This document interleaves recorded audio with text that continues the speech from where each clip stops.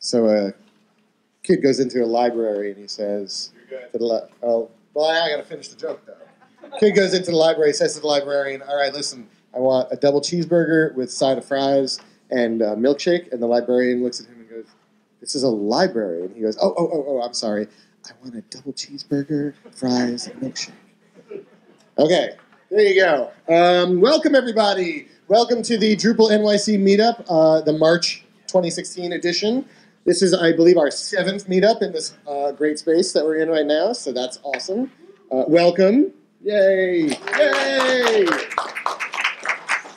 Okay, my name is Alex Ross. I will be your MC for the evening. Um, I uh, am going to go through um, some information ahead of time for those of you who haven't been here before. Uh, I'm going to go through some some kind of housekeeping, some information. And we're going to get into some really good talks that we have lined up. Um, our good friend Ben, I didn't see Ben anywhere, but our good friend Ben lined up um, some really good talks this evening that are very focused on kind of concept for beginners, concept for newbies.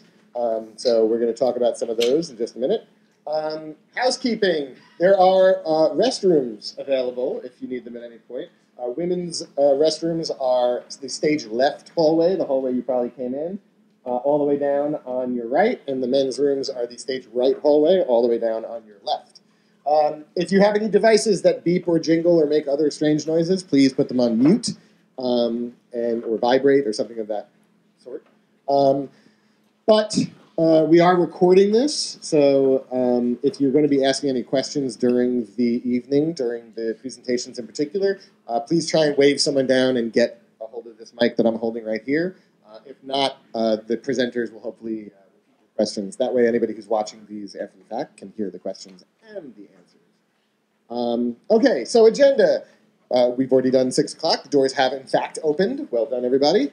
Um, 6.30, we're starting our announcements. That's going on right now. I hope everybody socialized appropriately and um, pizza. Um, pizza has been generously provided by NBC Universal, so thank you to NBC Universal. Um, yay! Yay!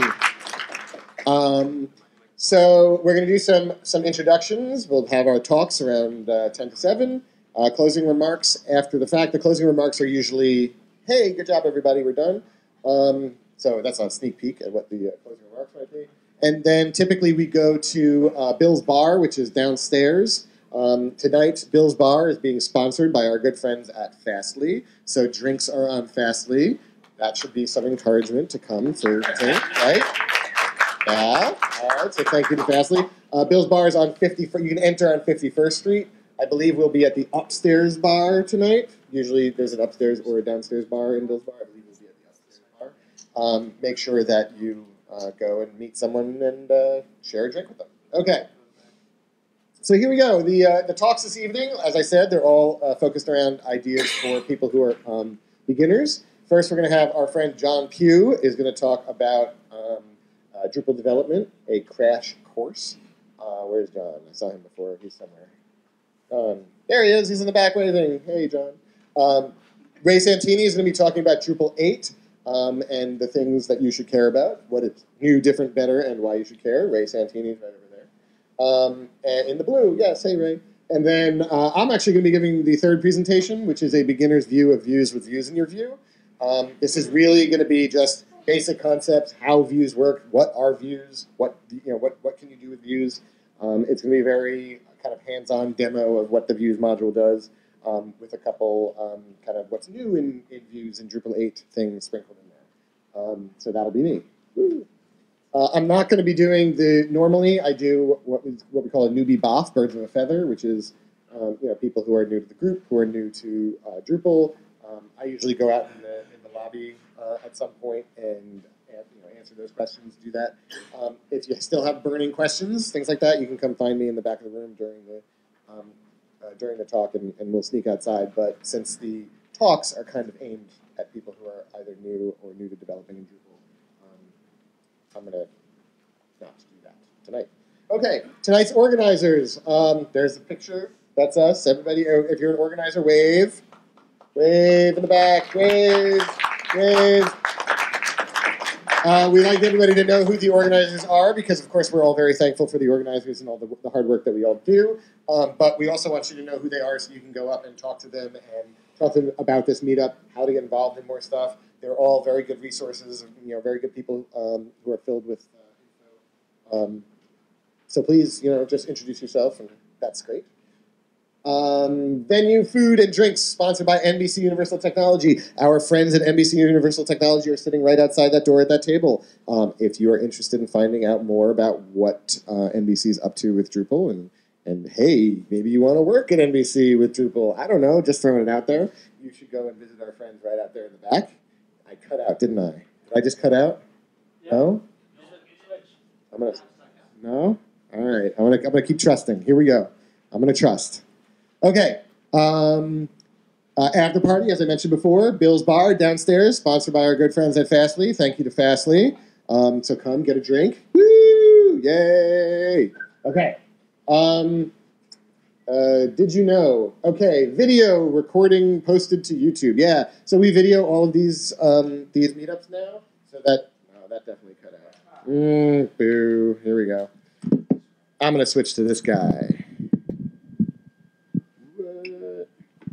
How's that? Yeah? All right, we're still good recording? Excellent. Okay, so all of these are recorded and posted up to YouTube. Um, visit us on drupal.nyc slash videos. We also have an IRC channel. Come on in there, ask us questions, talk about the uh, the group, um, the NYC group. I usually come with a, with a fun fact right about this time in the presentation, and I have one today. Um, today happens to be um, National Dr. Seuss Day, so I have composed a special uh, poem in honor of Dr. Seuss. It's very short, bear with me.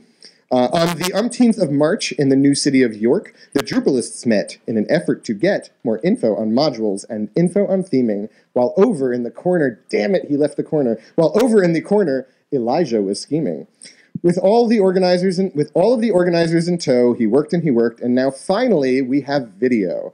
Uh, check out our page on YouTube, uh, drupal.nyc slash videos. So enjoy all your learning, enjoy meeting everyone. Thanks sponsors for sponsoring, and after, come to Bill's Bar for beers and more fun. Okay. So, that didn't quite work at the end there, but I got there. Talk lower. Am I, am I too loud? Yeah? I'm hearing yes, yeses and nos at the same time. That's, that's really kind of uh, comforting. Okay. Um, photos. We take lots of photos in here. We encourage everybody to take photos in here. If you take a photo, please um, upload it to the meetup page, meetup.com slash DrupalNYC. Share it with the uh, hash DrupalNYC uh, hashtag on the Twitters, on the Instagram, on Instagram, on whatever you want to share your photos on. Uh, please do that. It makes everybody who didn't come tonight jealous and makes them want to come to the next one. Um, so if you do take pictures, put those up. And um, yes.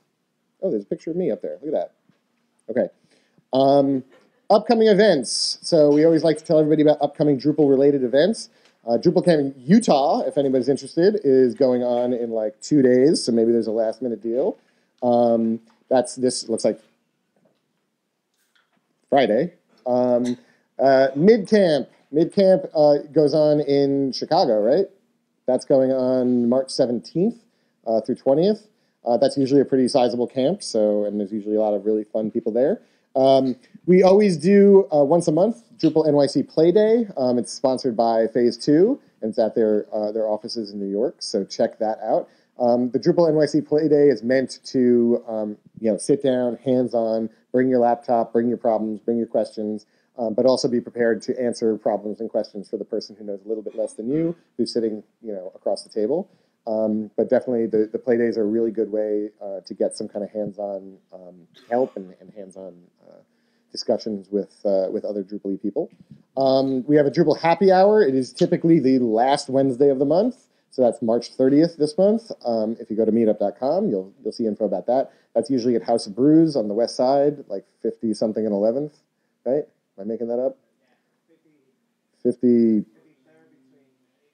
53rd between 8th and 9th or 50th. Go on meetup.com and uh, and you'll get the exact the exact location. But it is House of Brews. Um, what else? Uh, Drupadelphia. Drupadelphia is coming up April 8th. I know that they're um, uh, opening for, they're open for sessions right now. So if you have some session ideas, they're definitely looking for sessions. Um, and Drupadelphia is a nice easy trip down the uh, down 95. Uh, and then DrupalCon New Orleans. This is the big uh, North American conference. This is the annual North American DrupalCon.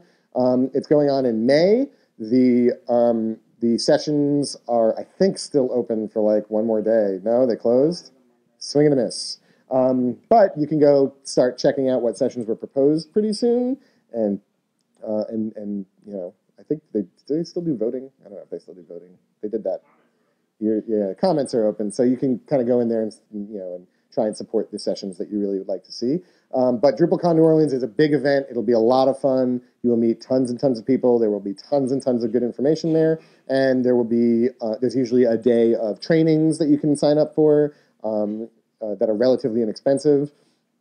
Then they have a couple. Well, there. Then they have a couple of um, a couple three or four three days, four days of uh, three days of sessions, and then the fourth day is usually um, people sprinting. So for those who don't know, sprinting, they, they everyone gets together, writes some code, and hey, we're going to fix this problem with this uh, you know feature in Drupal or this module or, or whatnot. People who are interested in the same thing get together and they, they work on a, a particular problem. Um, so that's DrupalCon New Orleans. Okay. Um, oh, Global Training Days. My, where's my? My, Mai's going to come up real quick and tell you all about Global Training Days as well as Dev uh, D8 Dev Study Group. Here you go. Okay.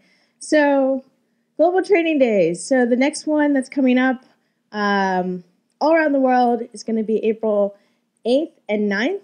But I think for New York, we're shooting for uh, the Saturday. The last training day was February 5th of this month, or last month. Um, and that was at Stony Brook. Um, and it was awesome. It was a free full day of D training. Um, so we're trying to figure out the venue, but um, most likely we'll hopefully figure that out soon and post um, some information so you guys can sign up. Um, probably around the size of like 30 people. Um, otherwise, it gets a little bit overwhelming. Um, I'm trying to keep it free, but I might need to charge like five dollars um, to cover like food costs and stuff. But I'm working on that. But anyway, this is going to be dev specific, so it's a little bit different from um, what uh, Ray's uh, Center of Excellence is FFW Center of Excellence kind of focuses on. Um, if you are interested in site building training um, and, and interested in like what an overview on D8 and stuff like that, um, Ray's got some awesome free online classes coming up. One's March 10th.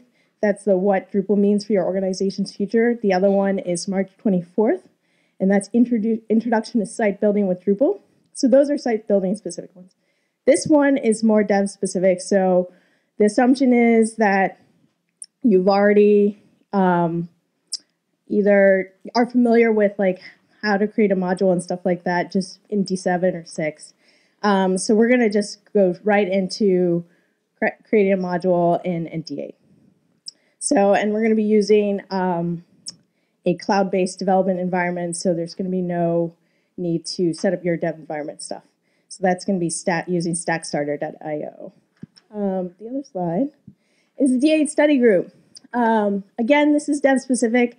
I'm going to host um, a small group, uh, kind of informal, where we get together um, and every Tuesday, starting Tuesday, April 19th, uh, from 6 to like 8 ish. Um, I'm interested in, if you're interested in joining me, I'm interested in what you want to what do you want to do? Basically, my idea is that we would try to work together to acquire skills. We'd have like an exercise to work towards, so like a problem to solve, and then and the takeaway would be that we would have some kind of light learning material that we could share um, with our other with our coworkers or whoever else. Um, one possible starting point would be um, updating some of the stuff in the uh, examples module because um, some some parts might be a little bit out out of date. So that might be a way to um, get back as well. So yeah, talk to me. I'm around. I'm interested in your ideas. All right, awesome. Thank you, Mai. That sounds like a great idea, actually. Okay, let's keep on keeping on. Um, a couple more of these. I know John is like looking in the back, like every slide. He's like, "Oh, I'm to come up now." Um, interested in speaking, it, we do uh, a bunch of different types of talks uh, at these meetups. For those who haven't been here, we sometimes do lightning talks, which are quick five, six, seven minute long talks on a, on a particular topic, particular problem, particular uh, Drupal module, something like that. Um, and uh, often we do more in-depth talks. They're more like 20, 25, maybe 30 minutes. Um, please, if you are interested, contact Ben Jevons. I didn't see Ben tonight, but contact Ben Jevons. His email is jevons at gmail.com. You can also talk to any of the organizers that you see here tonight, and we will make sure that your ideas, um, you know, get uh, get forwarded on to the right place. If you have an idea for a talk you would like to do, let us know. If you have an idea for a talk that you would like to see, let us know. Right? This is how we know and we can respond to the group and make sure that we're covering all the different topics that you guys are really interested in. Uh, so let us know that. In addition, there's Drupal.nyc slash feedback. Um, we always encourage people to go there. It's a quick, easy way to say, you know, to let us know, hey, the uh, the meetup was great, but it would be awesome if you guys did X, Y, or Z. Or that guy at the front talks too much. You know, maybe he could tone it down. Whatever the feedback is you you have, please let us know there. Um, and we, we really do pay attention to that, and we use that to uh, figure out what uh, how to kind of make uh, make this a good experience for everybody. All right, real quick. Uh, who is currently hiring Drupal developers other than NBC Technology, who are in the back back there? They did buy us pizza, so I'm shouting them out there. Stand up for a second if you're hiring. All right, we're gonna do real quick. Uh, mm. Give me give me your 10 second pitch. Who are you? Um, my name is Mark Dorison from Chromatic. Uh, we're looking for Drupal developers. We're completely distributed, um, so no matter where you live or want to live, uh, we'd love to meet you and uh, potentially work with you. Awesome. Who else? Who else is hiring? Come on down. Come on down. Not that far. Not that far. Hi there, uh, my name is Lisa. I work for Columbia University Medical Center. Um, we are currently hiring a junior Drupal developer, um, but we are likely to be expanding our team. Um, we're also looking for DevOps engineers and other Drupal developers. If you're interested, please come and talk to me. All right. Thank you very much. Hey, Matt from DoSomething.org, is the world's largest uh, organization for young people in social change. And, and we're hiring uh, someone on the senior end and, uh, and someone less senior, both for development across uh, Drupal, Drupal 7, um, Laravel, and an event driven environment around RabbitMQ, too, which I spoke about here a couple months ago. Thanks. Fun fact I created the first Drupal.org. Okay. Uh, DoSomething.org. Ah! Whoa! Little slip there. Thank you. All right, go ahead, real quick. we are we are hiring at FFW. Uh, lots of different titles, lots of different places, including uh, straight from your own office in the basement, garage, attic, wherever it may be. So check it out on our website. Um, love to see you. Thank you. All right, and then very quickly, raise your hand if you're looking for a, a job or an opportunity or a gig or something. Yeah, not Eric. Anyone? Anyone? All right. If you if you have that inkling in the back of your head and you're not Eric, then make sure that you go and talk to some of the people that you uh, that you heard from tonight. Okay, thank you very much. Uh, I'm being told it's too loud, but I'm being told by other people it's not. I don't know. It's a little loud, but it's not too loud. Uh, okay, um, DrupalCon session submissions. Well, I don't know what this is about. Why is this up here? I wanted to shout out Oh, that a lot of people submitted sessions. Oh, that's right. The- the, these are all of the DrupalCon session submissions from New York, the New York group, the New York area.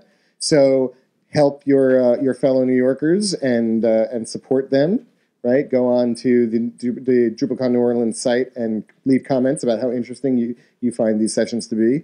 Um, our very own John Pugh, who's about to present, he's going to give a present or hoping to give pre- a presentation on accelerating Drupal development with Open DevShop and infrastructure and development tools in PHP. Um, yeah, and Elijah, HTTP for noobs, right over there. Uh, who else is in the room? Jake, are you here? No? Okay. All right, but help support our fellow New Yorkers. Next. Introductions. Take three minutes and introduce yourself to someone you haven't met before who's sitting right near you. And go.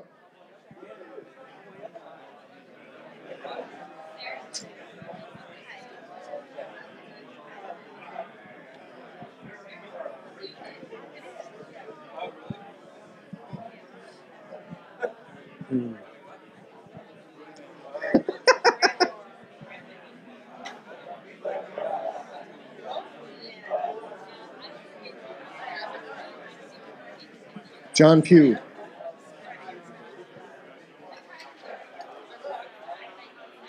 Set up because you're, you're up.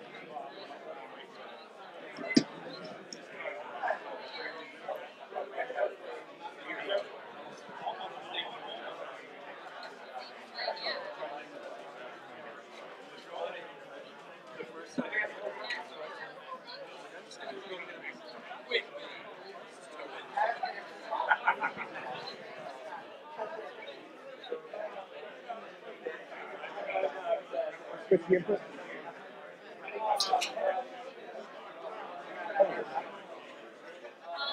I lied. Go back one. We do one more slide and then switch.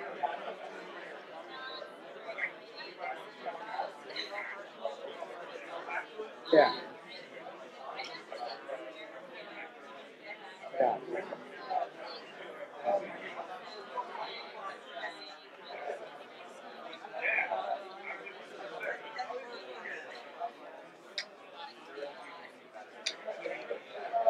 Let me know when you're ready. Good? Did it, it worked. Let me put it back. Oh, wait, I can figure it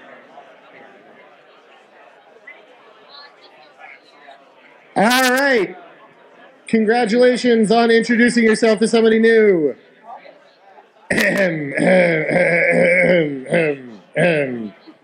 All right.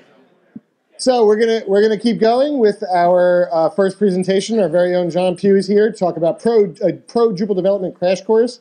Uh, we are going to, and I quote, uh, take a wild ride through the day of your typical professional Drupal developer. He's going to talk about basic concepts like modules, Git, tarballs, tools of the trade, and an overview of blocks, nodes, types, and more. He's going to do all of that in 20 minutes.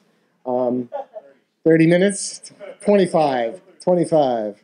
Um, uh, John has been working on some really great tools recently. Uh, Open Dev Shop is one of them. You should check that out um, to help you get your uh, your development uh, process all streamlined and nice and easy. You should talk to him all about it. Um, I promise you, if you ask him one question about it, he can go on for a good three or four hours on the subject if you need. Um, so yeah, John Pugh. Thank you. Thanks, Alex. All right. Okay, yeah, this is really a crash course. Um, wasn't as sure what I would do with this presentation at first, but once I got into it, uh, I got it. So, this is not about how to be a pro, like a pro or an expert or a hotshot. This is about like working on websites for a living. Uh, how many people here never got paid to build Drupal yet? Are still like, yeah. So we're trying to like ramp up people and get them on board for this. So I'm not going to go on about nodes and modules actually. Uh, this is me. I'm now the president of Open Dev Shop Inc., this company we just started that Alex is very kind to say some things about. Um, again, we're all about just building tools and platforms for open source. So I hope to take a wild ride. He's already went through this, so we're going to keep going because there's a lot in here. YouTube has halftime speed, so if you want to watch this tomorrow at half the speed, feel free to go back and do that. But I'm going to talk really fast. so where to start? If you want to build Drupal, you go to Drupal.org, right? And maybe you download it. It's kind of you're not necessarily sure where to start, but there's this try Drupal button, try demo button, and it goes to these things. And these two guys are a hosting platform. You can click through and get a site on Drupal running in a few minutes. I did it last night. It's awesome. The other way to do it is to download it. You know, if you're downloading tarballs, then that's a good way to do it. It's source code, but again, this is what we do. We don't do that. we don't download the tarball. We use other ways to get it. But the point is, you get the files. You, you know, you know what files are. You're going to learn what directories are, how all this stuff works. This is just raw source code. It's not going to do you much good. You can put this on a server and get it running, but it's not in Git. So don't be afraid of the terminal. You're going to want to learn this. It's going to help you. You know, uh, there's a lot of tutorials out there, but basically, you know, it's a directory. You're in a directory. You change directories. you know, you just open up the terminal. You're in your home directory. Just try it out. Don't be afraid. CD around. Use the CD commands. This is a terrible tutorial, but again, we're just trying to break it down for you.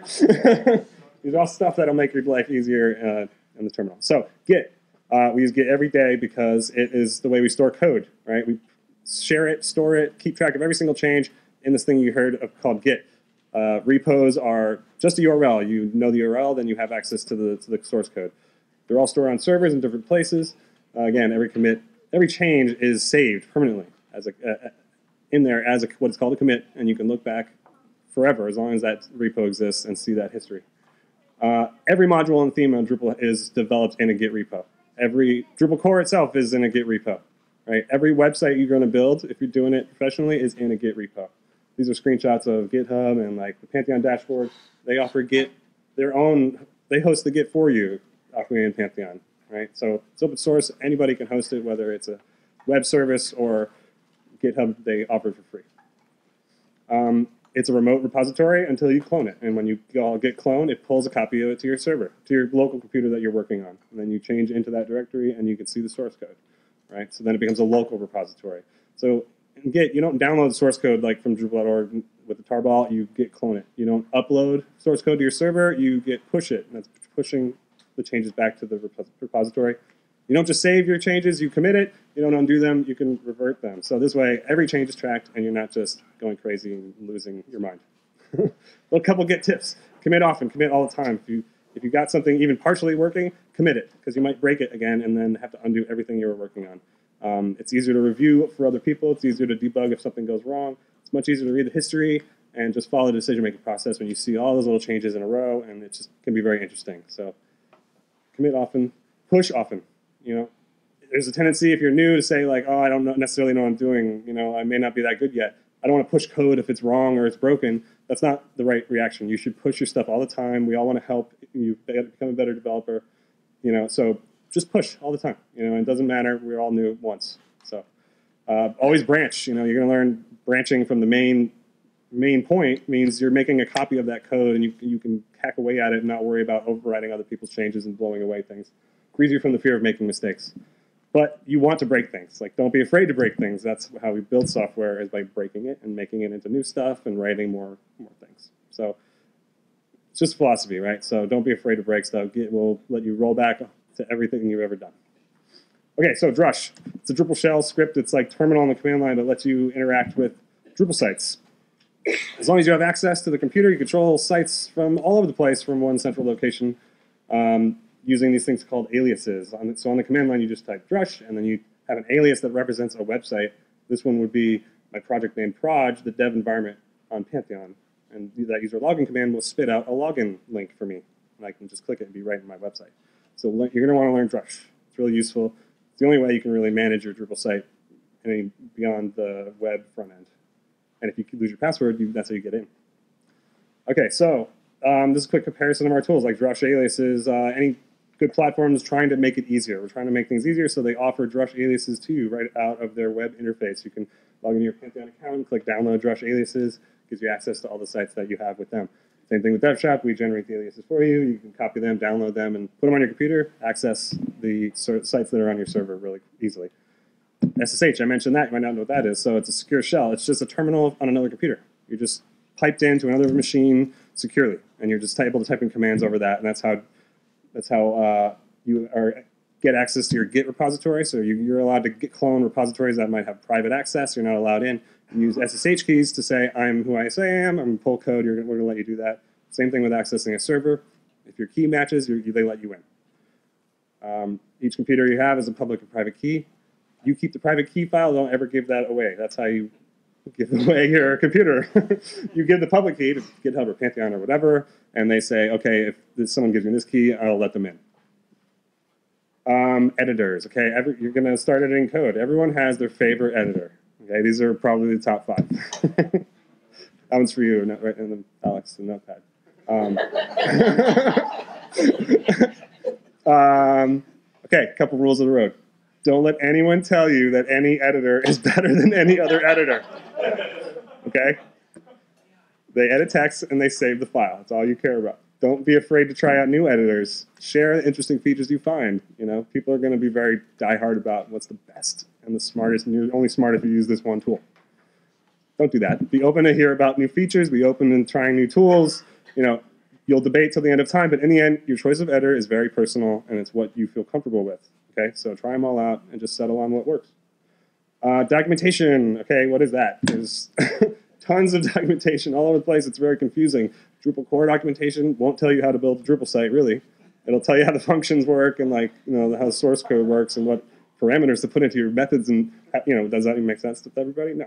So that's useful, but community documentation, and I call it Google because there's like blog posts by the thousands, hundreds of thousands out there for Drupal. There's an unbelievable amount of stuff Uh, and then there's other sites that are more specific, like Drupal Stack Exchange. That is amazing. If you Google like, why did my known node print this error message or whatever, you will almost always get an exact hit on like somebody that had that question. And if you go to that site, you'll probably get an, get an answer also. Um, and then there's really great, there's tons of assets to learn. And Drupalize Me and Build a Module are the ones I could think of. There's like probably a dozen others. Um, but these are probably the highest quality and like the largest libraries of video to like walk you through everything from totally newbie to absolute, you know, programmer superhero. So again, uh, quick tip about documentation. It's usually terrible. like, we don't know it's bad. Okay, so if you see something and read up on, a, on somebody's blog and it's like your instructions didn't work or Drupal.org has documentation and it doesn't make sense, you know, Pantheon has like we all have documentation pages and we try to, our best to write them out so they make sense to people, but we really don't know. And so if people are reading it, you read it and say this doesn't make sense to me, and you still stick with it, try to like look for how to help and suggest to improve that. You know, that will really help to fix it so other people coming to it will have an easier job in the future.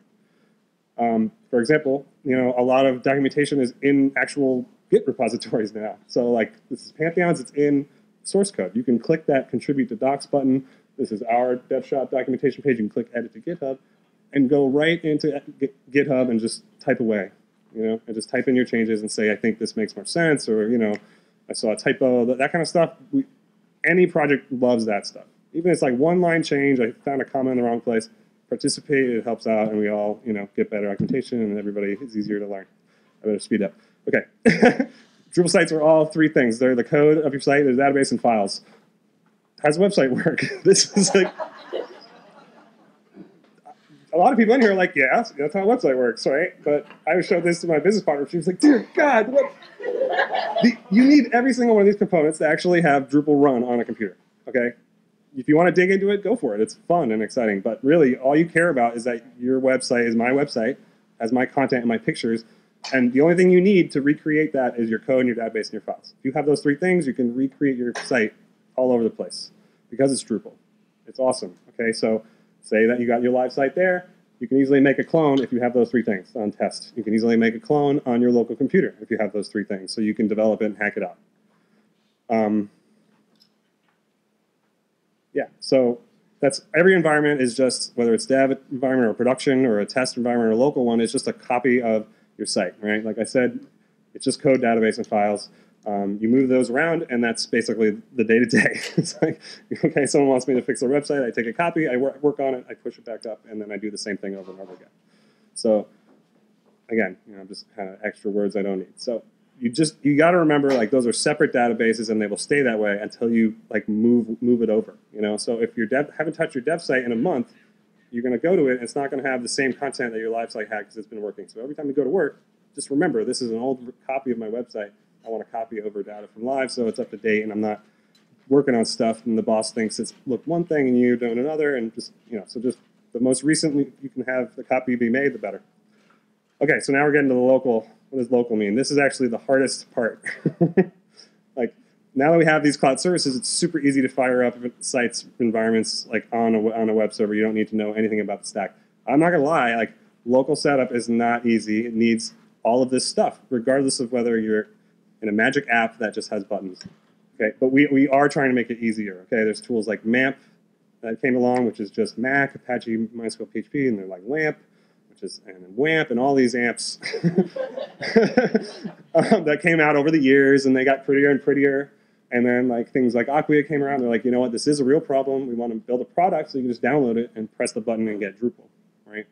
And so we're trying to make it easier. And there's now there's tools like Kalabox, that from Kalamuna, a dev shop on the West Coast, built this gorgeous, you know, interface that uses Docker containers. And you know, so we're all trying kind of work on making these things happen. They all work slightly differently, and they're not, you know, so we'll, we'll get there. like we're, we're, everyone's all these companies are, are working towards making this this experience as easy as possible. Um, there are a ton of different tools to do this. You know, like we will have all these Drupal beers and meetups and stuff are for us to go debate over our tools, right? Because there's a, there's a lot. Like this page lists just the ones that are like vagrant-ish, based on virtualization. But you know, four or five, three or four, whatever years ago, um, virtualization became so easy and powerful. Like we were just firing up VMs on our machines. This thing called Docker came around, and all- all this all this possibility opened up. And anyone could just write a Vagrant file and say like, give that to you, and, and a whole server would would spawn from that file. And so we were like, wow, if only we just wrote the perfect config and then passed that around, we would all have the perfect development environment, right?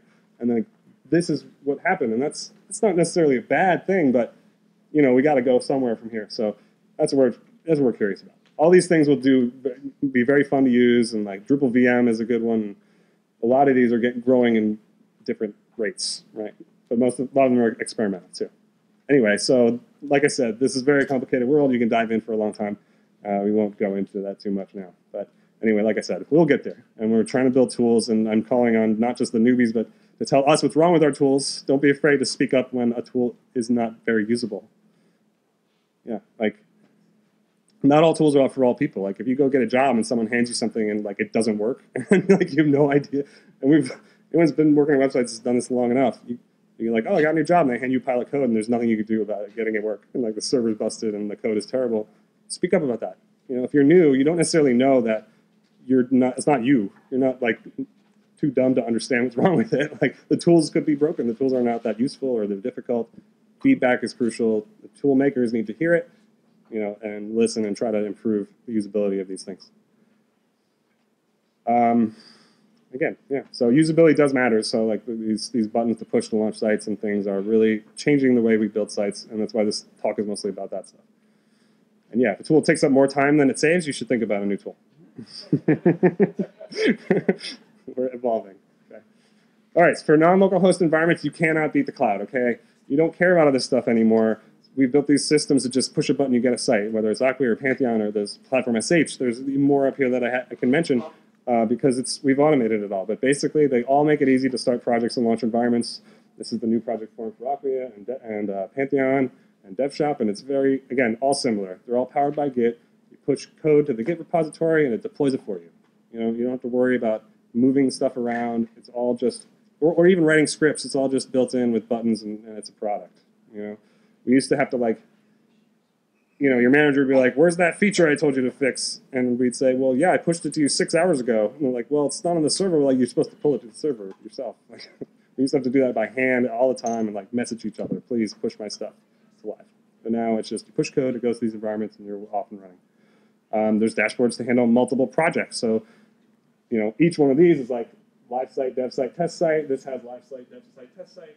Same thing, right? So one website, multiple environments. Then you have one platform, multiple projects, right? So all of these can handle multiple projects easily for you, and you click around and just go.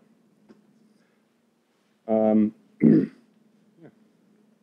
So, I guess yeah, we're getting close to the end. So, what's the process again? Just to recap. One, you get your local environment going. You get the site you're working on running locally, preferably. You might not need to though. If you're using one of these cloud services, have a development in the cloud, use it. Code, database, and files. You need those three things to get your site up and running. Edit your code, add modules, make changes, commit it, push it, repeat. You know, it go. Hopefully, if you're using a cloud service, when you push the code, it goes right to the site, and there's a URL your manager can click and look and see right away that your changes worked. They say that worked. You can all these you know systems have like interfaces that tell you when the code was updated, you know what happened, what branch it's on, so people can see what's going on. When you're done, you click merge, and then boom, you just deploy.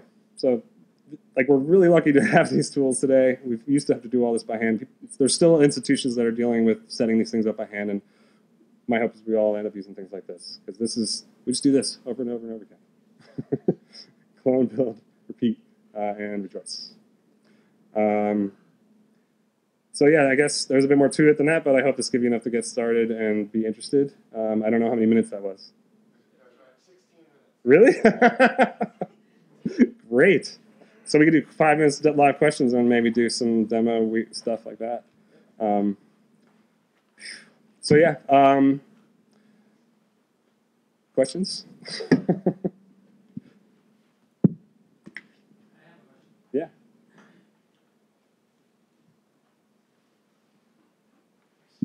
at the risk of starting a flame war. Um, what's your favorite editor? PHP Storm, no debate.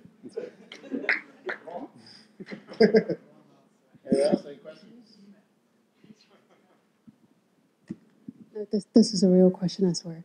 Um, have you used Drupal Council and do you recommend it? Council? Oh, console. Oh, yeah, yeah, yeah, definitely. Um, oh, yeah, yeah. You don't want to even work on Drupal 8 unless you use console. It's, it's awesome. I should have mentioned that. I should have put that in the slide. It's like next generation of Drush. Same thing, but just more tools you basically say create a module, and it says what do you want its name to be and what do you want the page to be. It makes it insanely easy. So I'm really I love those guys and the tools that are they're building, and you should definitely use that. and I'm going to add that to the deck, so I have more than 15 minutes. Could you pull up whatever comes up after you've done this local install and change one thing and show us? Yeah, if you want to. I hope live demo. I don't know. Pass the Quick live demo. Yeah, Oh, keep- I got one question. get another question while see if this thing is working. Uh, John. Yeah. Uh, thank you. Wonderful presentation. Uh, I think we've come so far in making you know, uh, it easy to get a site up and running. Uh, I think maybe we need to start thinking about when the inevitable breakdown occurs. What the person who clicked the one button or learned to do the push, the pu- git push pull, um, what do they do when, when everything falls apart? Yeah, yeah. Well, that's a good. That's a really good question. So let's Kleenex, Kleenex makes a great product for that. you you narrow the you narrow the the scope of things that happen, right? So if it's going the same way every time, you know, you it just automation like reduces the chaos, and these systems all have things that actually track who pushed the button, you know. So these audit logs and things, and like you know, Pantheon has a deployment thing where you actually can put a note in saying I'm pushing to live, like here's what I'm doing. Um, so, I mean, I, I I, a lot of people, almost everybody in here has probably used Pantheon or Acquia, and like things, things go wrong, but things so rarely go wrong. Like the amount of code we're pushing uh, compared to the times that things actually go wrong is just astounding compared to like five years ago or whatever. You know, because every time you push code, it's running the update hook. You know, it's clearing the caches. It's like you can get it to do these things to avoid the fact. You know, it used to be yeah, you had to remember. I pulled in code. Oh wait, I better go update the database. There's like ten thousand schema changes or whatever. People had to remember to do that. You know, so now you don't have to remember to do that stuff. I don't know. I hope that answered the question. um, okay, let's do this. Partner's gonna kill me. She hates live demos. this is my uh, dev shop server. This is uh, my website for ThinkDrop. See, it's ThinkDrop. Um, we've got these Drush aliases. Let's see if this is working. Okay, Docker is running. Okay, scary. All right, so this is a little, little localhost component, right, to what we what we're building. Okay, so it's a command line tool, launches stuff really fast, but it's also like global. I'm gonna make it big so you can read it. Wait, let me get the get URL so I'm not lost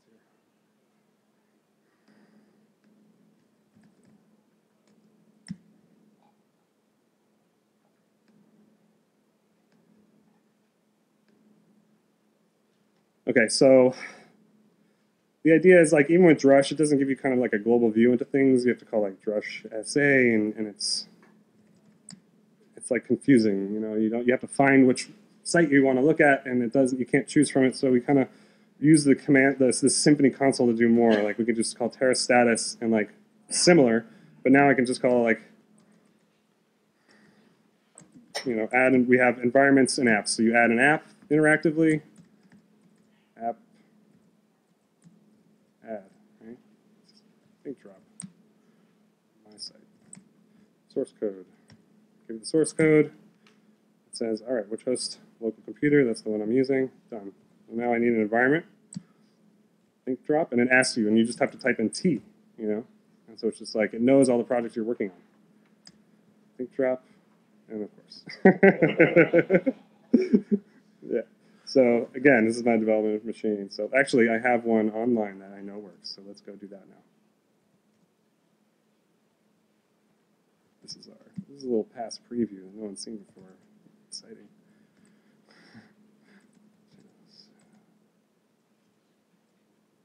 Okay. I am typing that correctly. Okay, so we have the same thing on a on a server. Big fat doc, whoa, Docker server. Think drop. Source code. This one is hub on hub.devshop.build. Yep. So now an environment. Drop local. Or this is in the cloud, so let's call it dev. I hit enter. It assumes. It just we just want to assume as much as we can. If we can take away the decision where where to put your source code, why not? Git branch tag. I just say enter onto the default branch. It clones it. It's got a special file in it that it knows what to do, and it launches these Docker containers. And wait a few seconds for the MySQL to launch. And this is good because the MySQL container just takes a second. All right, so this is actually good. This is Drupal 7. this is actually saying it did connect to the database. There's just nothing in the database. Okay, so we can easily install Drupal perhaps. Notice I it generated a Drush alias for me. Okay, so I didn't have to write one for my local host. I can call SQLC, I believe, to drop into the database container, which is a container. Maybe.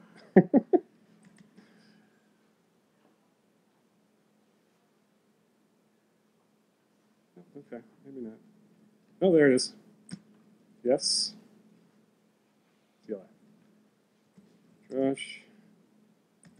Site. Install. Yes.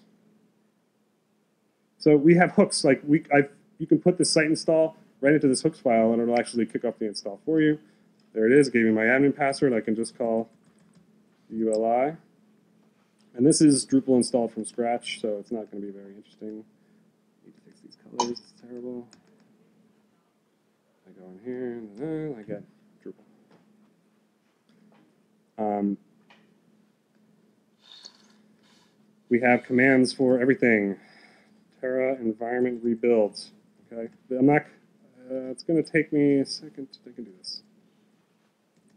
Rebuild is the same thing as getting your files in database, but without the dealing with the dumps and the copies and the syncing and all that stuff. It's all an automatic and a command. We know we just need to know where the rebuild source comes from. So I need to grant access to the server real quick to my other server so I can rebuild my ThinkDrop site from there. Just one second. Again, DevShop, like all these other platforms, you just go in there. I have to, this is a new server, so I'm adding an SSH key so I can clone from that site. Save that. I go get my SSH keys for my project. Uh, Drush aliases, rather. Mm.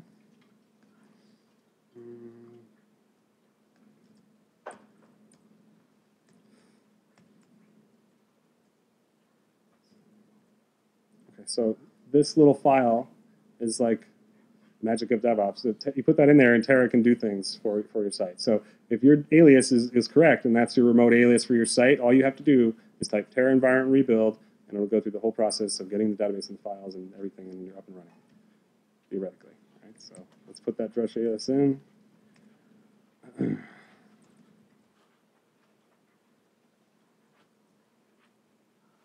Again, th this is like stuff that I don't think I should, we should make people type anymore. so we're going to have to get all these little manual steps completely automated. This is, no, I'm doing this wrong, right?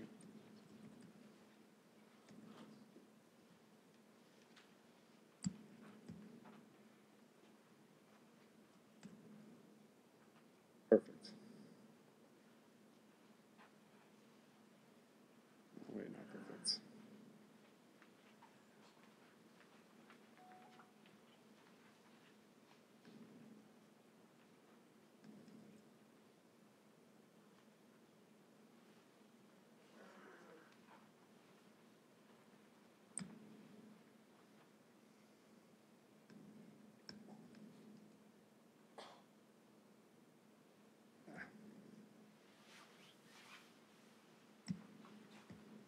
John, can you explain why you just did that twice?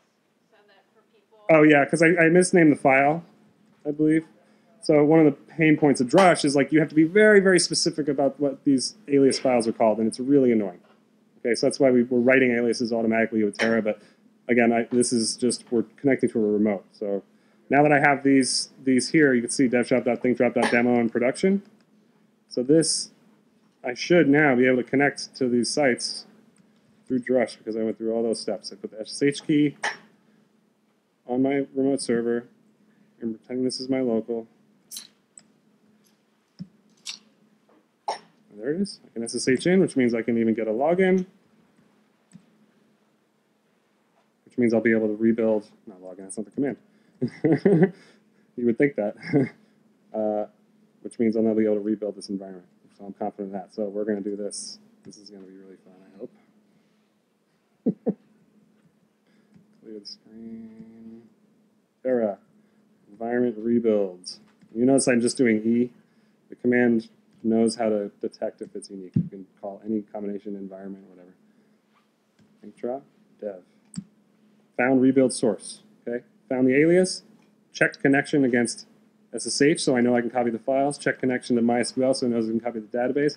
Checking connection to the destination, which is the Terra environment, which is like a little, it's running a container, so it's like a little VM on this box. And now I just have to hit Y. It does a data dump. Now let's remember, this site looks like this right now. Oh, so it's already, already synced. it's already starting to sync. So it was a regular stock Drupal site, and once I do this, this could all just be dash Y as well. So it's just walking you through. Yes, that's the destination. I already know that. And of course, some files didn't copy successfully. There's always something. But regardless, it's basically my site. So, again, Always the file still in development, but that, this we want. We think the workflow is what, what matters. Like we're gonna get there. All these bugs are gonna work out, but we want like the easiest possible workflow for all developers. Uh, So for everybody who's who's really really new to this, about three years ago, that was about a, a day or two's worth of work. Right. Yeah, it took a while to. Yeah, like it's like you would get hired and they'd be like, okay, take a week, get your local development environment set up, and they'd be like, oh, you're starting a new project. I'll talk to you tomorrow. Like, let us know when you get it right. You know, so we think I don't know, we just make make life better and more inclusivity. You know, more people can join and build websites. All right, So, John thanks. Pugh. Thank you, John. Well done, Alex. All right, I, I forgot where I put my sheet. Where's my sheet? I put it somewhere. I think it's down on the table. Anyway, we're gonna go to Ray Santini. Saltini. I've been I've been I've been off today. I've been really off. Hold on, where's my sheet? Um, and I'm unprepared. Do we have a, a, a oh no. It's there. Oh no, we got a dongle for you and everything. Oh, here it is. It's up here. Uh, Drupal 8, new, different, better, and why you should care. Uh, find out why everyone's talking about Drupal 8 and how it can improve everything you do on the web. Drupal 8 may not look that different on the surface, but fundamental changes in its design pr- uh, promise tremendous advantages for marketeers. That's supposed to be marketers. I, yeah, probably. Marketeers and IT professionals alike. Uh, Three marketeers. the three marketeers. I love it. Uh, we'll review the yeah, that's Disney. We'll review the uh, status of the contributed modules and how you can figure out if Drupal 8 is right for you. Take it away, Ray, who is an active member of the Drupal community since 2005 as a developer, business owner, and more recently as director of the FFW Center of Excellence. Ray. Blah, blah. Thank you, thank you, thank you. It's nice to be home. I started coming to um, these meetups a long, long time ago. So, how many folks are in the audience, just to be clear, consider themselves to be technical? Okay, and how many folks in the audience consider themselves to be not so technical? Few. Just want to make sure um, to be going through. So, um, you gotta stay in front of the microphone, right? right? Or take it with you. Thank you very much. If you go to, uh, yeah, laser pointers don't work on LCD screens. If you go to that link over there, uh, in, in the middle, that little Google shortcut link, you'll actually go to a uh, Google Doc. Pull the microphone down a little bit, Ray. Yes, okay, okay. Uh, you'll go to, not that doc? Doesn't like to toggle, huh? Um, Wah, wah, wah. If you go to that link, you'll get to a uh, Google Doc that'll give you some links to a Drupal 8 sandbox. And it's basically a, a Google Doc that you can use as Scratch and class notes. Uh, ask a few questions, you'll get some answers. Uh, we, we do it on a regular basis. So um, uh, go ahead and copy that short link and, and visit. So some of you might have known organizations Blink Reaction or Propeople. We used to them, be them. FFW is the organization formerly known as uh, Blink Reaction and Propeople. Uh, and we are, at least for the time being, one of the largest Drupal shops on the planet. Uh, but we're really uh, most proud of the work that we do in the community to help other folks learn Drupal. Uh, and so it's been through a couple of different incarnations. I used to run a uh, learning unit, a business unit. Uh, and then last year we said, hey, we don't make that much money training people. Let's just make it for free, okay? And then we can actually get more and more people into Drupal uh, and raise the tide for everyone. So we formed the Center of Excellence, and we're pretty proud of the work uh, that we've done. We're also extremely proud of the work that we've done sponsoring this little project, uh, uh Drupal Console. And so for two years now, I think uh, Jesus' anniversary, second year anniversary with us, will happen while we're in uh, New Orleans together. We've been sponsoring the main developer of the Drupal Console project.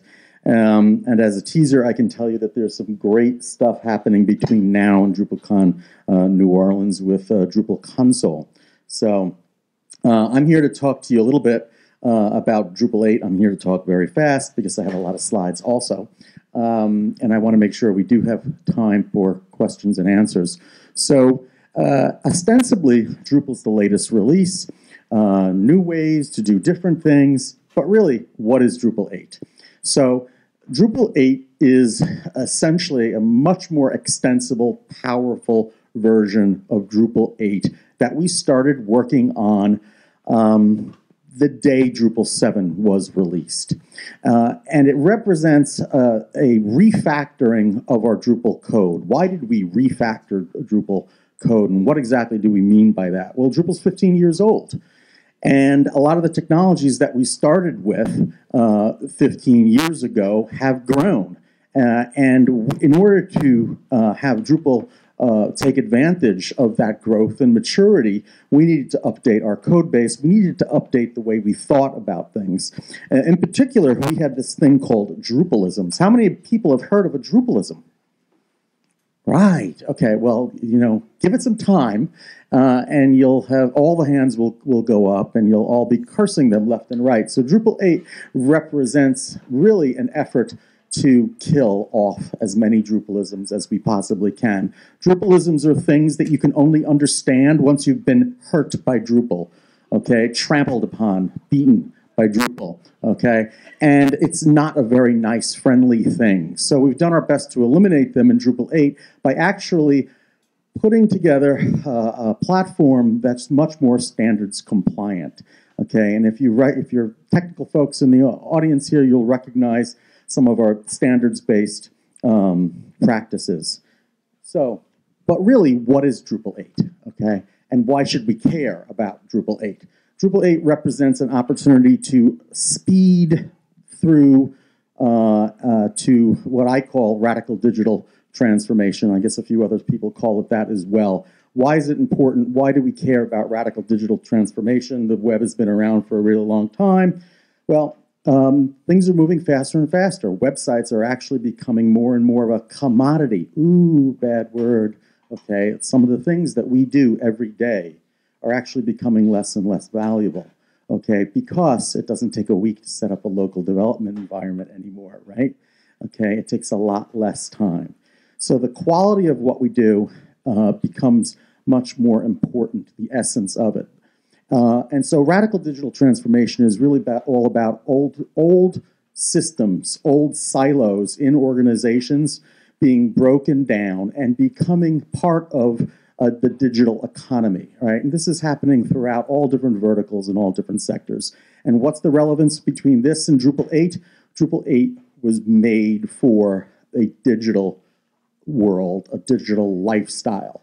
Drupal 7 and all other previous versions were made to build websites, really great websites. Sometimes they were made to build they, it, we, we built really great web applications.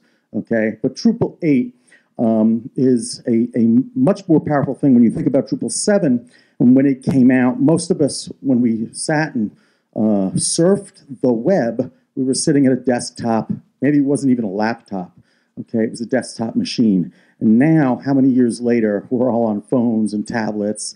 We're not anywhere near our, our desks. Sometimes we're on the beach if we're lucky. Okay, so there's a digital business imperative. Drupal 8 is really designed to meet this goal. Uh, not the least of which is because organizations that get the digital business imperative actually become much more profitable, which means they survive, unlike some others. Okay, and most people don't realize it, but uh, Kodak was ahead of its time in terms of entering the digital uh, uh, realm, had the leading digital product for many years, um, but they also put together a plan uh, where they would achieve digital transformation, oh, in 15 years. Well, during that time, they became the leader in digital uh, imaging and also achieved bankruptcy. So, um, why is all this relevant for, for Drupal 8? Drupal 8 is really going to help organizations and you all as service providers and technical folks um, achieve this digital transformation, this radical digital transformation. And we're going to see uh, things built with Drupal 8 over the next couple of years that don't look anything like a website. Is there is is my prediction, and I think is is the intention of many of the people that worked on the Drupal 8 project. So um, it's going to do all these things. It's got great capabilities in all these areas, but let's focus. Let's break this down a little bit, right? So, how does Drupal 8 benefit marketing teams in particular? Um, so, things that Drupal 7 was good at, Drupal 8 is going to be even better at. I'm really struggling with the microphone. Okay. Um, faster time to market. So, uh, as quickly as you could spin up a Drupal 7 site, um, there are many aspects of Drupal 8 that once we get comfortable with it, will make it faster and more efficient uh, to bring messages, products, and services not just to the web, not just into the browser, but to other uh, applications and platforms. Um, this is a major advantage of, of, of Drupal 8 a lot of the distributions that um, are pop, have become popular in Drupal 7 are beginning to be updated uh, into Drupal 8. One of them is Lightning, which we'll show later during the Q&A period. Uh, there's a link for that in the uh, uh class notes document. But it's going to help you understand how, just how uh, quickly uh, Drupal can bring some of these products and services to market. Greater scalability, I love this image. Um, so it's not just putting the cart, horse or donkey before the cart, it's actually making sure that you can bear a load and uh, use a platform like Drupal to create many, many, many different uh, websites that do many, many different things. Drupal 8 is significantly better at all this than Drupal 7 was. Um, and so um, the reduction of custom code is I'm, I'm lost without my laser pointer. Uh, the reduction of custom code in, in Drupal 8 is a particular issue I'll touch upon in a couple of more slides. Um, one of the most exciting things about, about Drupal, and I think it's definitely a reason to consider switching if you don't recognize any of these other values or if they're not drivers for you, uh, is that um, Drupal is mobile first but mobile first in a very special way because we have built Drupal 8 around these newer technologies that are part of this LAMP stack. We've leveraged CS, CSS3 and we've leveraged HTML5. They can do things that previous versions of those technologies could never do. So you're going to see more and more uh, um, applications or websites, if you will, that are built with Drupal 8 accessing um, the, the capabilities of your phone, accessing the capabilities of your uh, tablet. Uh, you're also going to see uh, administrative uh, pages in Drupal 8 that are responsive.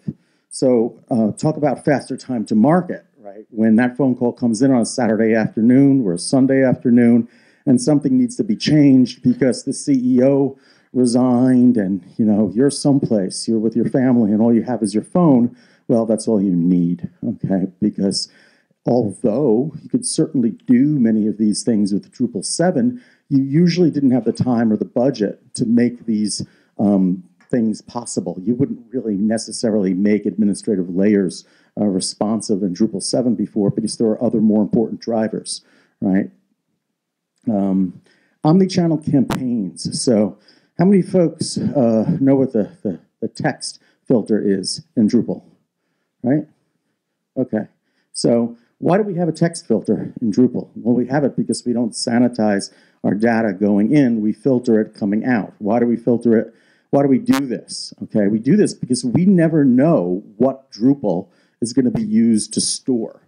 So when my organization worked on um, datamine.mta.info, uh, before we started working on the project, we wouldn't have been able to anticipate that we were actually going to be using Drupal to uh, ingest binary data around real-time transit feeds and static feeds for the MTA so that you could pull up information about how late your train was going to be on your uh, phone.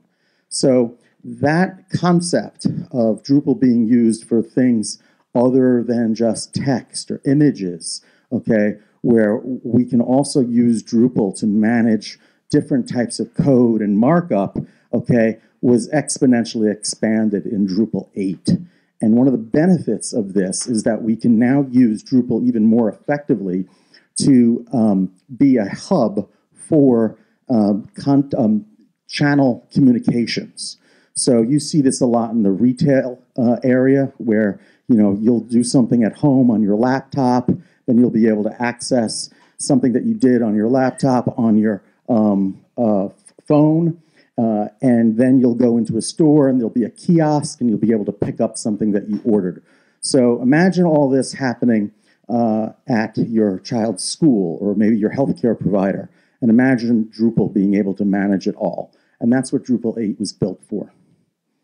So uh, let's talk a little bit about the difference between content management systems and frameworks uh, and what we've got in between. Well, we've got Drupal in between. So I'll give you copies of these slides so you can read this incredibly uh, thick text. Um, but how many folks are, know what Symfony is? Right? So Drupal 8 hev heavily leveraged a Symfony. So what's the difference? Well, CMS versus a platform, where is Drupal? Okay, more assumptions, less assumptions. Less assumptions in a framework, more assumptions in a CMS like WordPress that's locked down for specific purposes. Drupal's in the middle. Drupal 8 really firmly occupies this space. And you know, we were getting questions, well, you know, why shouldn't I just build it in Symfony? Well, the reason why you shouldn't just build it in Symfony is we've already built it in Drupal. And you can extend Drupal 8 using Symph Symfony much more um, uh, efficiently, effectively, and while getting the benefits of all those systems that have been created in Drupal 8. Uh, so, how does IT benefit from this? Here. So, um, well, we benefit from the Symfony framework, standards compliant framework, uh, several different components, object oriented patterns, PSRs, a front end that's finally uh, uh, enabling front end developers to focus on front end technologies. So you don't have to spend your time building uh, pre-processed functions using PHP template engine because Twig is going to take care of that for you, assuming that you don't want to progressively decouple it or decouple it completely from the Drupal backend. This is a major feature uh, in Drupal 8, not the least of which um, all, all, this um, standardization is going to make your front end layer infinitely more secure, right? Because what was one of the most customizable aspects of Drupal, Drupal 7 and other previous versions? Well, of course, it was the front end. And where do most threats come from, right? For, for in, in websites and web applications, very often, besides the yellow sticky on the wall on your, on your bulletin board, they come through the front end. So third-party libraries, we've included them. We've made it easier um, to load them up. Uh, things we just spoke about for front end developers. Um, you know, I remember being given uh, what seemed like a fully functional website, and uh, really it was a prototype. And the the the designers, uh, the the branding agency said to me, "Can you reuse this code?" And we all looked at each other and said, "What are you kidding?" Okay, but it was great code, but it just couldn't be used because it couldn't be really practically um, be used uh, wholesale in a Drupal theme. Now that's not so much the case, and those prototypes actually do have some value if they've done if they've been done with Drupal's uh, Twig theming engine um, at hand. So REST and core, um, bidirectional communications coming out uh, of, of Drupal through a very big pipe. Okay, these are the things that uh, Drupal 8 is going to be used for more and more. You could do this in 7, but it was very tough, right? Configuration management is huge. So um, John talked about how uh, uh, you know code and files and go up and configuration goes down. Well, you know sometimes you have collisions, especially when you have a lot of user-generated content and the like. Drupal 8's configuration management initiative, coupled with contributed modules like features that are being updated, are really, really, really significant. Multilingual support that um, again is a uh, an imperative for global organizations. You know, in a in a world that's that changed that's changing so much. Drupal seven, not so much. Drupal eight, a whole lot. Uh, edge side includes caching, uh, varnish systems, uh, very complex in Drupal 7, still complex in Drupal 8, but there's much more internal support for them in Drupal 8 than previously management perspective, uh, all those Drupalisms. Now, wow, so how many people were, were interested in looking for work? How many of those people um, know Drupal in and out, through and through? Okay, excellent. Scott, a couple of people, I know. But good news for those of you that don't, you won't be punished for it. So if you've got a CS degree, okay, and you're really good and smart and capable with web technologies, okay, we don't need you to take a long, circuitous path, five years, uh, to get to learn all those Drupalisms, because now we can connect you to Drupal 8 development that's much more standards oriented. Is there still a learning curve? Of course there is. It's not so much of a cliff anymore.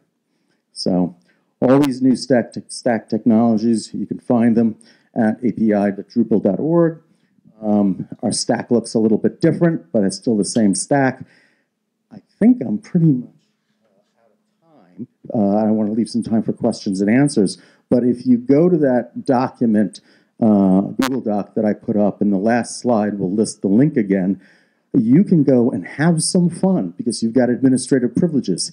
Go ahead, break it. If you break it, send me an email, let me know. I'll fix it for the next uh, person. You can also, you've got administrative privileges, so set up an admin um, uh, account uh, and start entering some uh, some content and use our in-place editing features that's in Drupal 8.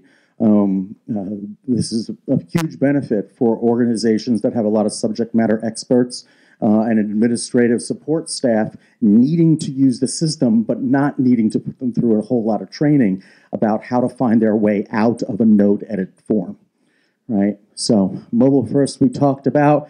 If you look at this on this iPhone uh, screen, that's the installation form uh, page for, for Drupal 8, right? When you're selecting a translation, it's mobile from the get-go.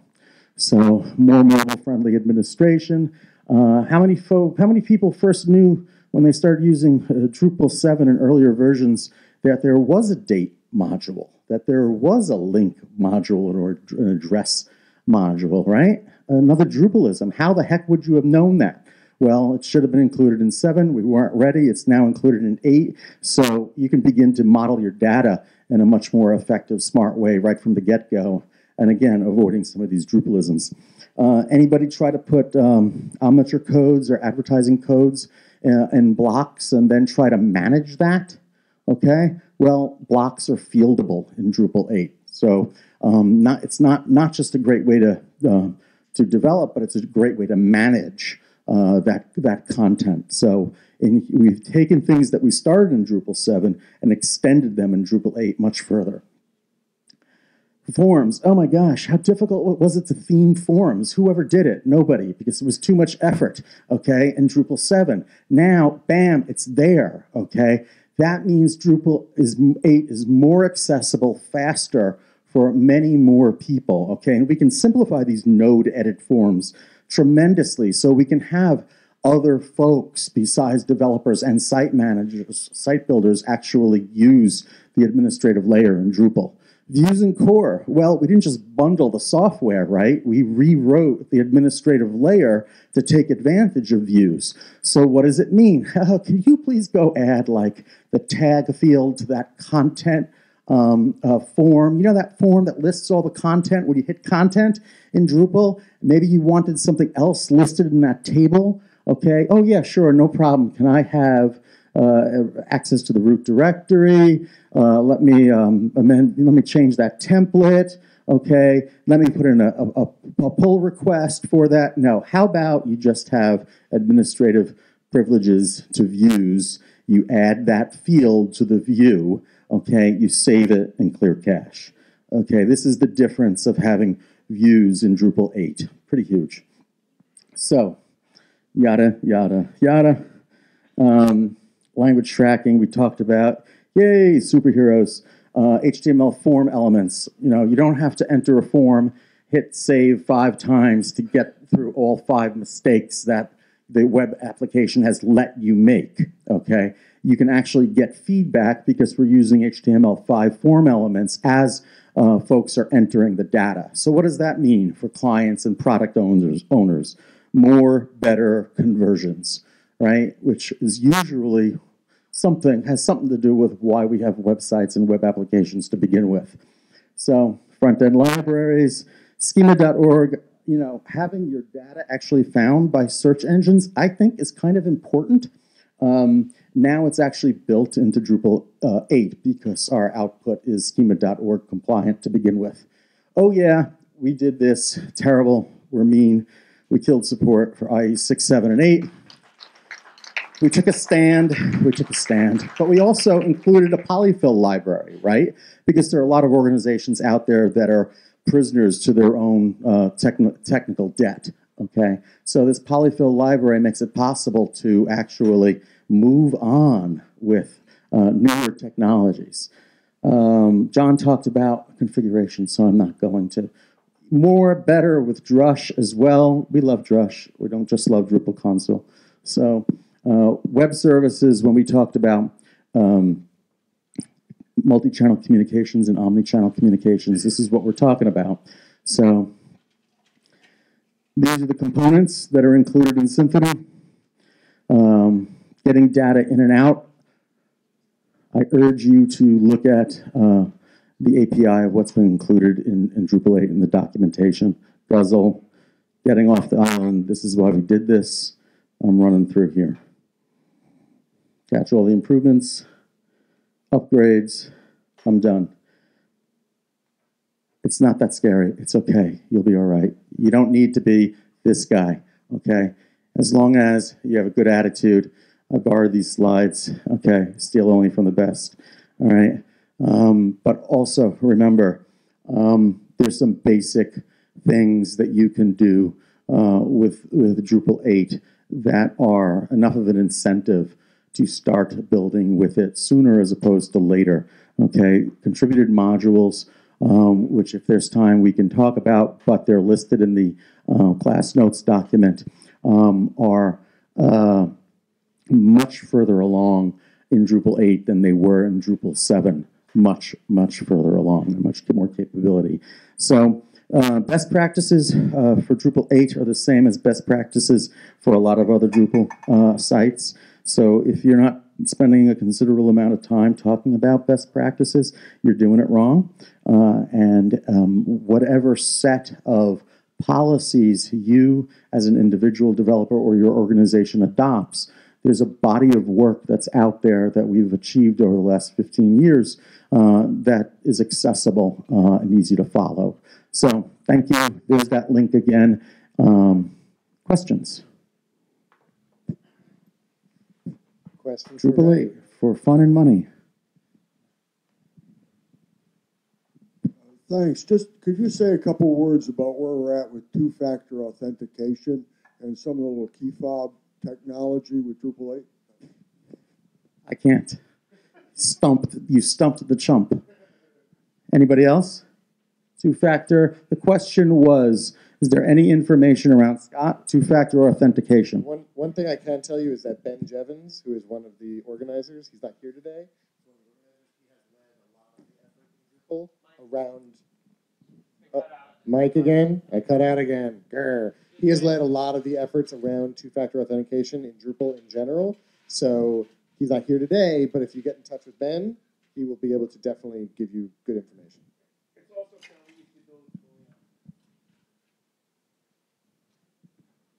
It's fairly easy to build it with Twilio. so you get a little uh, text message on your phone, type in the code, and give it to your site. Thank you for the great, that great question. Now, now maybe I can hope to answer it someday. I'll do my homework. Other questions? Any other questions? All right, Ray, thank you very much. Thank you. Go Drupal.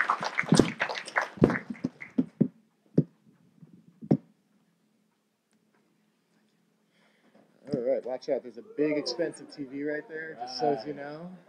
in the way. Yeah. Yep. Yep. Okay. All right. Um, everyone can hear me again? I'm good. Yeah. Uh, so the next presenter is me. So that's kind of cool.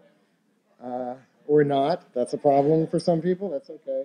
Um, let me. Whoops. I probably should have logged in and seen what was on my screen before I just plugged that sucker in. But hopefully, it's nothing too bad.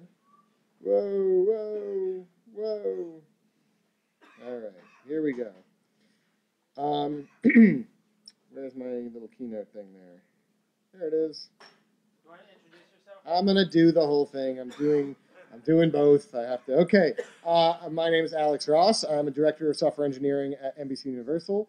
Um, I've been doing a lot of uh, beginner trainings and beginner talks, and I do the newbie BoF here at the um, at the monthly meetup typically. So I, I find it very enjoyable to kind of go through um, these kind of beginning topics with people as much as much as I can.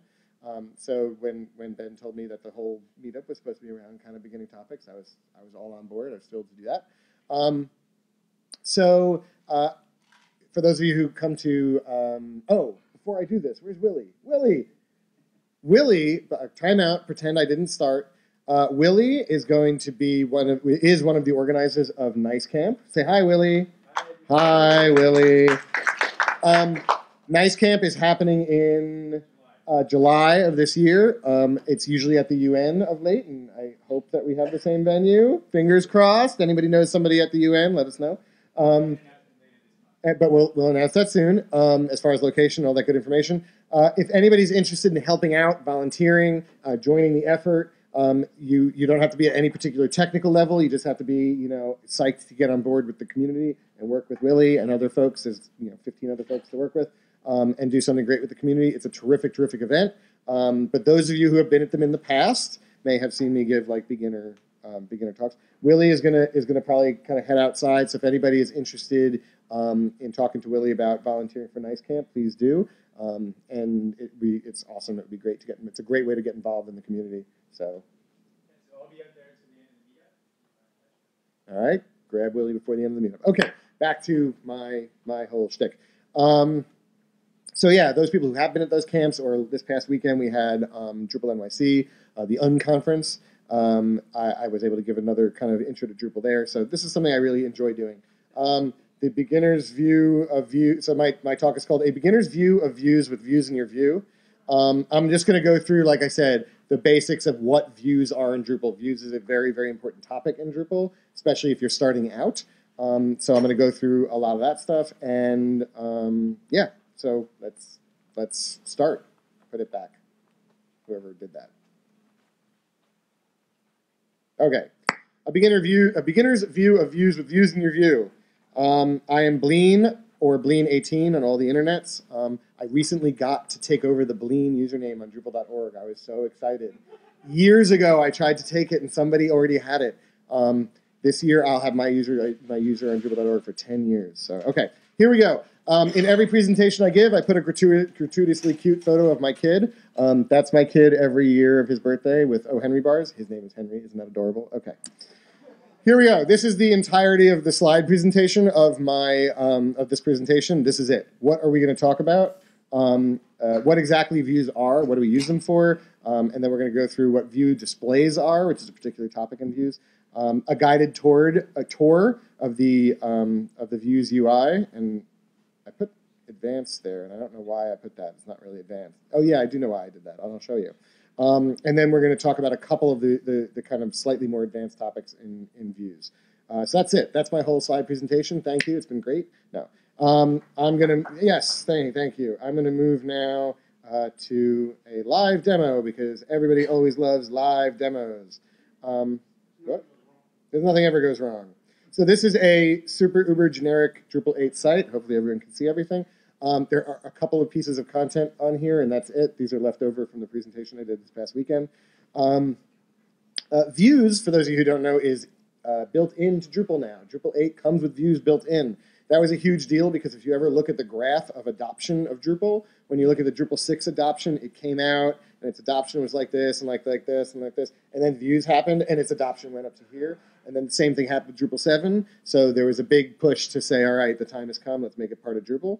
Um, and so Drupal is now included with D8. There's no extra modules to install. Um, turn on uh, your D8 site and you immediately have views. In fact, not only is it uh, part of Drupal 8, but many of the Dru Drupal 8 admin interfaces that you're used to using are powered by views now. For example, if I go to the content screen, for those of you familiar with Drupal 7, the content screen is just kind of a you know a fun list of your content, and you can you know find the thing you were working on two days ago or whatever. Uh, this is now powered by views.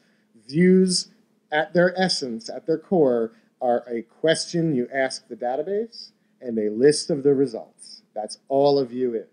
All right. So in this case, this is a very simple case. The question is, hey database, can you give me a list of all of the content I've created, ordered by the newest first? Right? Super, super simple question. And you know, on top of that, you can tell views. And by the way, when you give it back to me, if you give it back to me in a table with uh, title field, the content type, the author, the status, the updated uh, date, that will be phenomenal, right? So views then takes care of all that for you. So that's at its essence, that's all views is. When you look at a, another site, any site, if I go to pretty much any, someone should yell out your favorite work appropriate website. Okay, New York Times, there we go. So New York Times not built on Drupal, but were it? Wow, that's a, ooh, that's a that's zoomed out a lot, uh, or zoom. Yeah, okay. Um, if the New York Times were built on Drupal, I would look at this page and I would see uh, the opinion page. I would say this is a view of one, two, three, four, five, six, seven, eight, nine, ten articles. Right. The first three articles are displayed in one way, and the rest of the articles are displayed just as links. Right they're just, it doesn't matter what it ultimately looks like on the other end. It's just a list of content or a list of something. It could be users, it could be comments, it could be taxonomy terms, it could be almost anything. Um, but a list of content um, that is uh, the answer to a question that you ask the database. Give me all the content that is tagged with, um, you know, or that is in the editorial section that is tagged with uh, decision 2016, right? And now I'll get only editorials about the current election. All right. Show me a list of users who logged in in the last six months, right? And show me their username and a link to their profile, right? This is what a view is all about. So here we go. If that's a view, and this is just an example of a view, right? How do we make them? How does that work? Go to views, and I'm going to add a brand new view. Okay, I'm going to make it a little bit smaller. Hopefully everyone can still see. We're good. Okay. Um, Views has one of the most complex user interfaces of any feature in all of Drupal. And that was fully recognized by the people who created Views, and they eventually came up with this idea of a much, much simpler UI to make a much, much simpler view. And let's only expose the more advanced UI when you have to do more advanced things. So what you're seeing here is the super uber simple you know, UI. Let's just make the, the world's simplest view. What is this view called? This, is, this view is called My Content. right? I want to show, what do I want to show? I want to show log entries, I want to show comments, I want to show users. What do I want to show? Content. Sounds good to me. Um, all types of content or just articles? How about articles? Great. Do I want articles that are tagged with Yankees? Of course I do. Um, and how do I want to sort those articles? All right, so I'm really just building a query here. That's all I'm really doing. Um, and let's do it newest first. Sounds good. Now, ultimately, what am I going to do with this? Am I going to display a page, an entire page that just has, you know, a list of my articles or my articles that are tagged Yankees? Sure, maybe. Am I going to uh, create a block instead, just one small kind of uh, a little nugget of content that might appear maybe in a right rail somewhere? Maybe. What am I going to do with this? Let's say I'm going to create a page with this, and I'm going to page title it My Yankees Content. All right, and the path I want is Yankees. And how do I want to show this? An unformatted list, a table, a grid, um, an HTML list, right, like a UL or an OL. Um, and let's say I want it to be, um, yeah, let's say I want an unformatted list. And then it says, okay, well, how do you want, what, what do you want to display of this content? Just the teaser of the content? Do you want to display the full content, just the title, title, but it's linked? What do you want to do with this? Um, and I choose, right? So teasers, that sounds fine. How many should I display on the page? Do I want to add a pager in case I say I want to display five of them, but I have 6,000 of them? Maybe I want a pager in there. I'll turn that off. And I click save. And do, do, do. All right, I've now created my view. And to prove it, I can go to D8 slash Yankees, right? That's the path I gave it. There you go. So I've now created a whole new page at a URL that I specified, which is the answer to the question, hey database, give me all the content that's tagged Yankees, put it in the right order, as a um, unordered list, right? Okay, great, so it worked. Now, where did it take me? What is this page? This is the more advanced UI of views than what I originally showed you. That was the kind of the basics, right? This is the advanced UI. Uh, the first thing I want to talk about are view displays right? I've kind of gone over this a little bit already. In views, you can make a view that's going to output as a block, that can output as a page, right? We already talked about that a little bit. But there's some extra ones that you can now do. Uh, a couple of these are new in Drupal 8. Um, the, the big ones that are, that are new in Drupal 8, feed is not really new, that existed in Drupal 7, but it's much improved. Feed used to be pretty kludgy and impossible to make like look like an actual feed um, the way that you wanted it to without using some extra third-party modules like the RSS feed module or other feed modules. Um, but uh, this one I learned about today is actually kind of cool. The embed display. Um, I want to have this view, this, this question that I asked the database. In addition to having a page that shows that, I also want uh, a block. I'm going to make that real quick. So I've now said I have a page for this question I asked the database. I also have a block for it. Um, in the block, I don't want it to be an unformatted list. I want it to be a, um, I don't know, a table. That's terrible. A grid. Sure, let's say. And it asks me a whole bunch of, this is why it starts to get very complicated. It asks me a ton, and there's no way I could go over every option and views in this entire like evening, let alone just in, in 25 minutes. Um, you know, but it asks me a couple questions about um, how I would like to display something in a grid, right? Four columns, two columns, three columns, things of that nature. I hit apply, and now I'm good. Now I have a page and a block. Well, there are definitely times when people want to create views that they don't want it to display as a page, they don't want it to display as a block, they don't want it to be a feed, they just want to make the view. Because programmatically, somewhere else, they want to be able to say, hey, Give me that view that I asked you for, right? So some this is something that a developer would typically want to do is say, all right, I have you know um, some weird page, and in the middle of that page, I want this view to be kind of embedded smack in the middle of my content, and I'm going to build some code to do that for me. Um, so I want to create a view, but it's not a page. I definitely don't want it to create a, a, URL for it. It's not a block. I don't want like all of the block hooks to get fired off when I load the thing. It's just a view. So what they've allowed us to do now, somebody added embed as an option. And this is literally just the raw view. Okay? There's no, there's no way to get to it other than really programmatically in, inserting it somewhere. Um, so now I have three different displays of this same view. Okay? Well, let's talk about that for a second. Let's say, and you'll notice um, as I go down, let me talk about the left side here for just a second. Every view um, allows you to put a title. Um, that's just the title of the view. It's not necessarily used um, anywhere other than in the views, kind of the main views page. Um, and every every view you decide on what the format, every display you decide on what the format will be. Um, things like that. I want it as a grid. I want it as a HTML table. I want it as a list, whatever that is. Uh, and, and you decide what you're showing. When you decide what you're showing, you're typically picking in what's called a display mode in Drupal. I'm not going to get too far into that, but every content type you create, for example, has a full display mode, which shows the entire, let's say, article, or a teaser display mode, which shows just the teaser to it. You may have a, a third one, you may create one um, called a micro teaser, which just has like one, you know, just the title, for example. Um, if you're still using Drupal 7, I highly, highly, highly, highly, highly recommend the, um, uh, the Display Suite module, which lets you work very easily with these view modes and, and kind of create them differently. Um, but back to what I'm showing here in views, um, uh, right now you'll notice there's some filter criteria. And this is, if you think about it, when you're asking the database a question, that's really all you're doing is you're filtering the data so you get the, the answer that you want. Right now, the filter criteria based on what I did is that, and by default, Views put this in for me, is that I only want to show published content, right? I don't want to show stuff that's not ready to be published yet and viewable by the public. I want to show the content type of article, and I said I want has taxonomy term of Yankees. Well, Views is pretty clever, actually. And let's say that in my page, I want to show Yankees, but in my block, I want to show things that are tagged something else. Everything else about my view is the same. So fundamentally, it would be really unfortunate for me to have to create a whole new view and go through all these settings again, just because it's just one thing that I have to change. So what I can actually do in views is I'm going to pick that has taxonomy terms. And up at the top here, it says, hey, do you want to do this for all displays? Meaning the page and the block and the embed? Or do you want to do it for just the current display that you're working on, the block?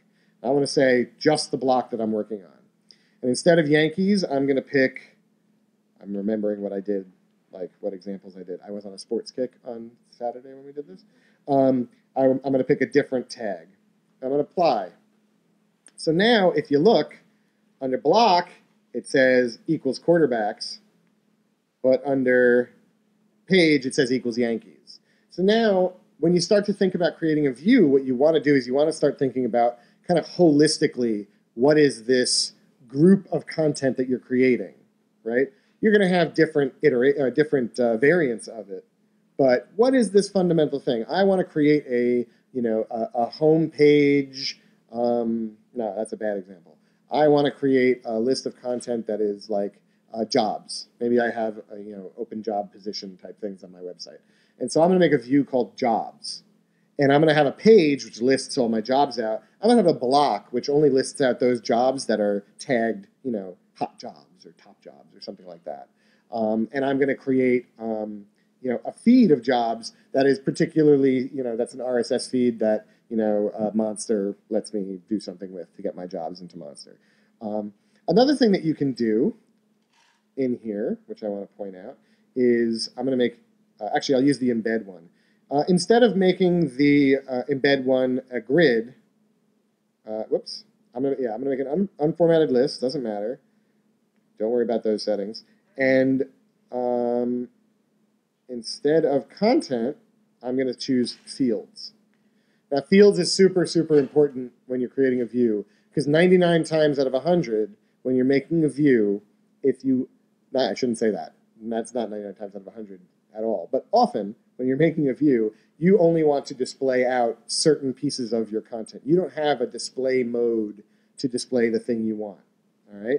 So I'm going to say I want this to be fields. And when I say that, suddenly this fields option becomes ungrayed out.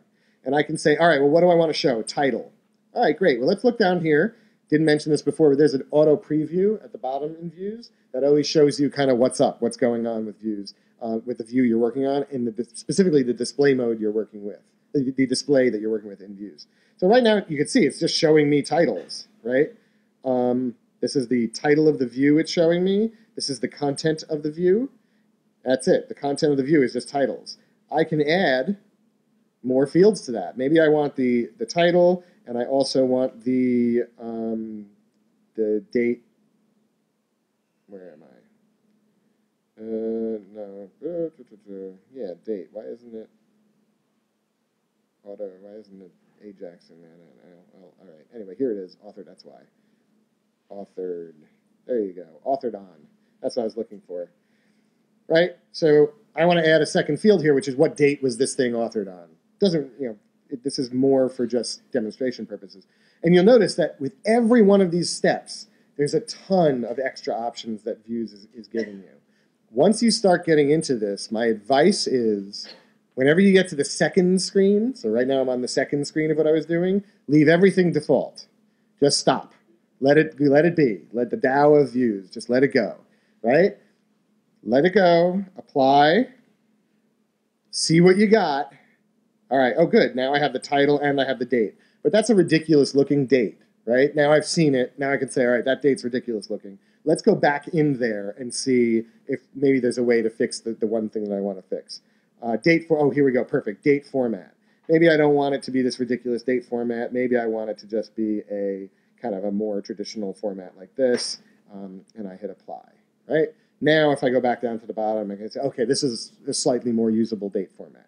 Um, obviously, I can't go through all the options in there, but there are hundreds and hundreds and hundreds of them. So that's why I tell people when you first start in views, let views be views, right? And then as you go and you need to make one change, look for that one change. Okay, don't try and read through all 600 options before you do anything because you'll never get anywhere. All right.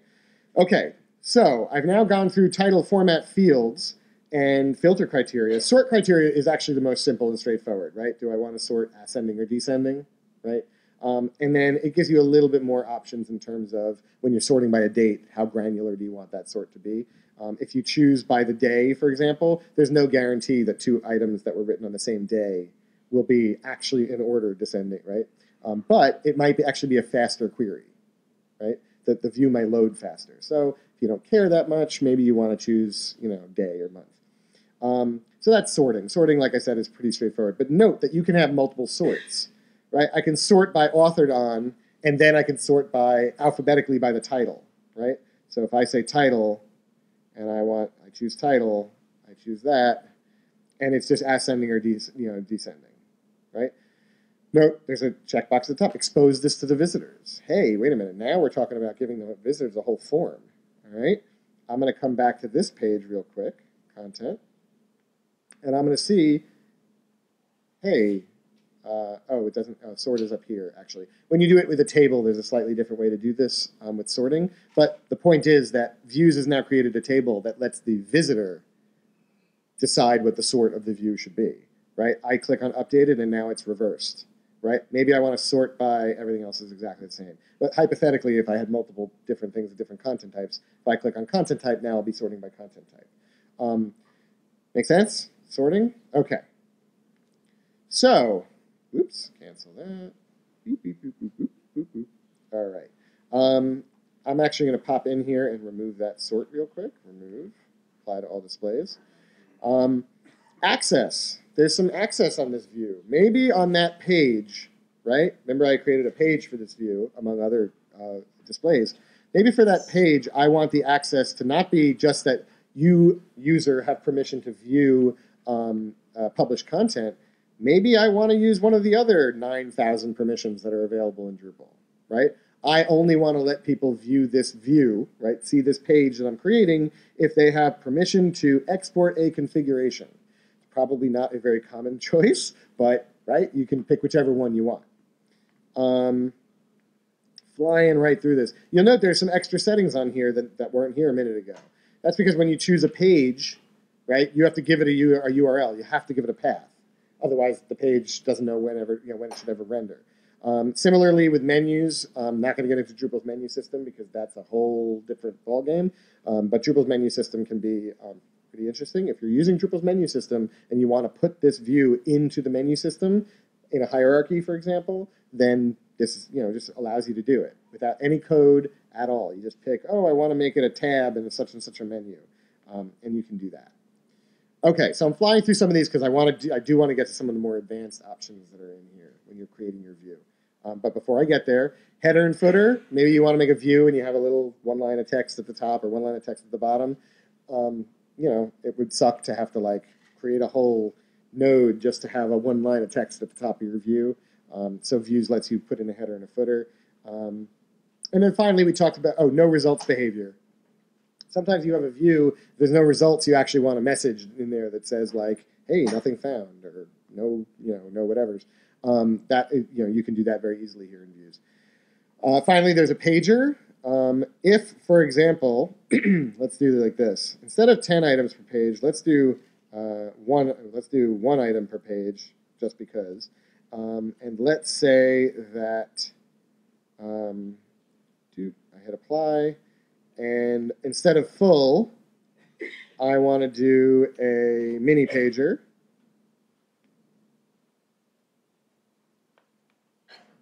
And I click apply. And now if I go back to that page from before, where is it? Here, Yankees. Oops. Did I not save it? I didn't save my view, did I? Nope. I have unsaved changes in my view. All right. So even though I've made 600 changes at this point, I haven't saved any of them. So I can come and click my, my handy dandy save button. now, if I refresh this page, you can see that some of the changes that I've made earlier on, they're, they're in here now, and I have this pager, page one, next, page two, right? I only have two pieces of content, so that's the end of that. Um, but you can see how, how quickly you're able to do something like create a pager uh, using views. Um, in addition, somewhere in here is where it went. Oh, I know where it is. Cancel. Under advanced, there's an option use Ajax. All right. It's a very complex form, right? A lot of things going on here. Check use Ajax. Apply. I'm going to save. And I'm going to go right back to my view. And if I go to previous, notice it's not reloading the page anymore. It's using an Ajax pager. Now, side note, there are reasons that you would want to do this. There are reasons that you would not want to do this. Make sure you understand those reasons before you decide to use an Ajax pager. Uh, things like deep linking come to mind, where that becomes kind of uh, difficult. But if you don't know what that means, then probably don't use Ajax pagers until you do. Okay. Um, I'll stop real quick. Questions so far? Yes, a nay. Yeah, I'll repeat the question.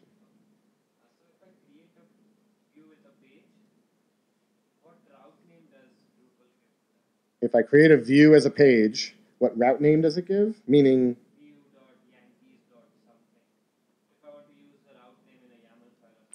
Um, it, it, it, it is view, it is view dot uh, dash like the machine name of the view dash the machine name of the display.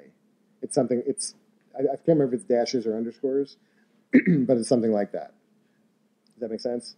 Yeah. So Drupal has a has a Drupal eight has a new routing system, and the routing system kind of you know you you create this um, this essentially it's just a, a machine name that represents every path that you want to to you know make as a page on your site.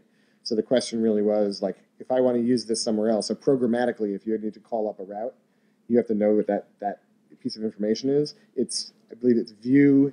I think it's dashes dash view name view machine name dash uh, display machine name, um, and you can see that display name uh, here, right?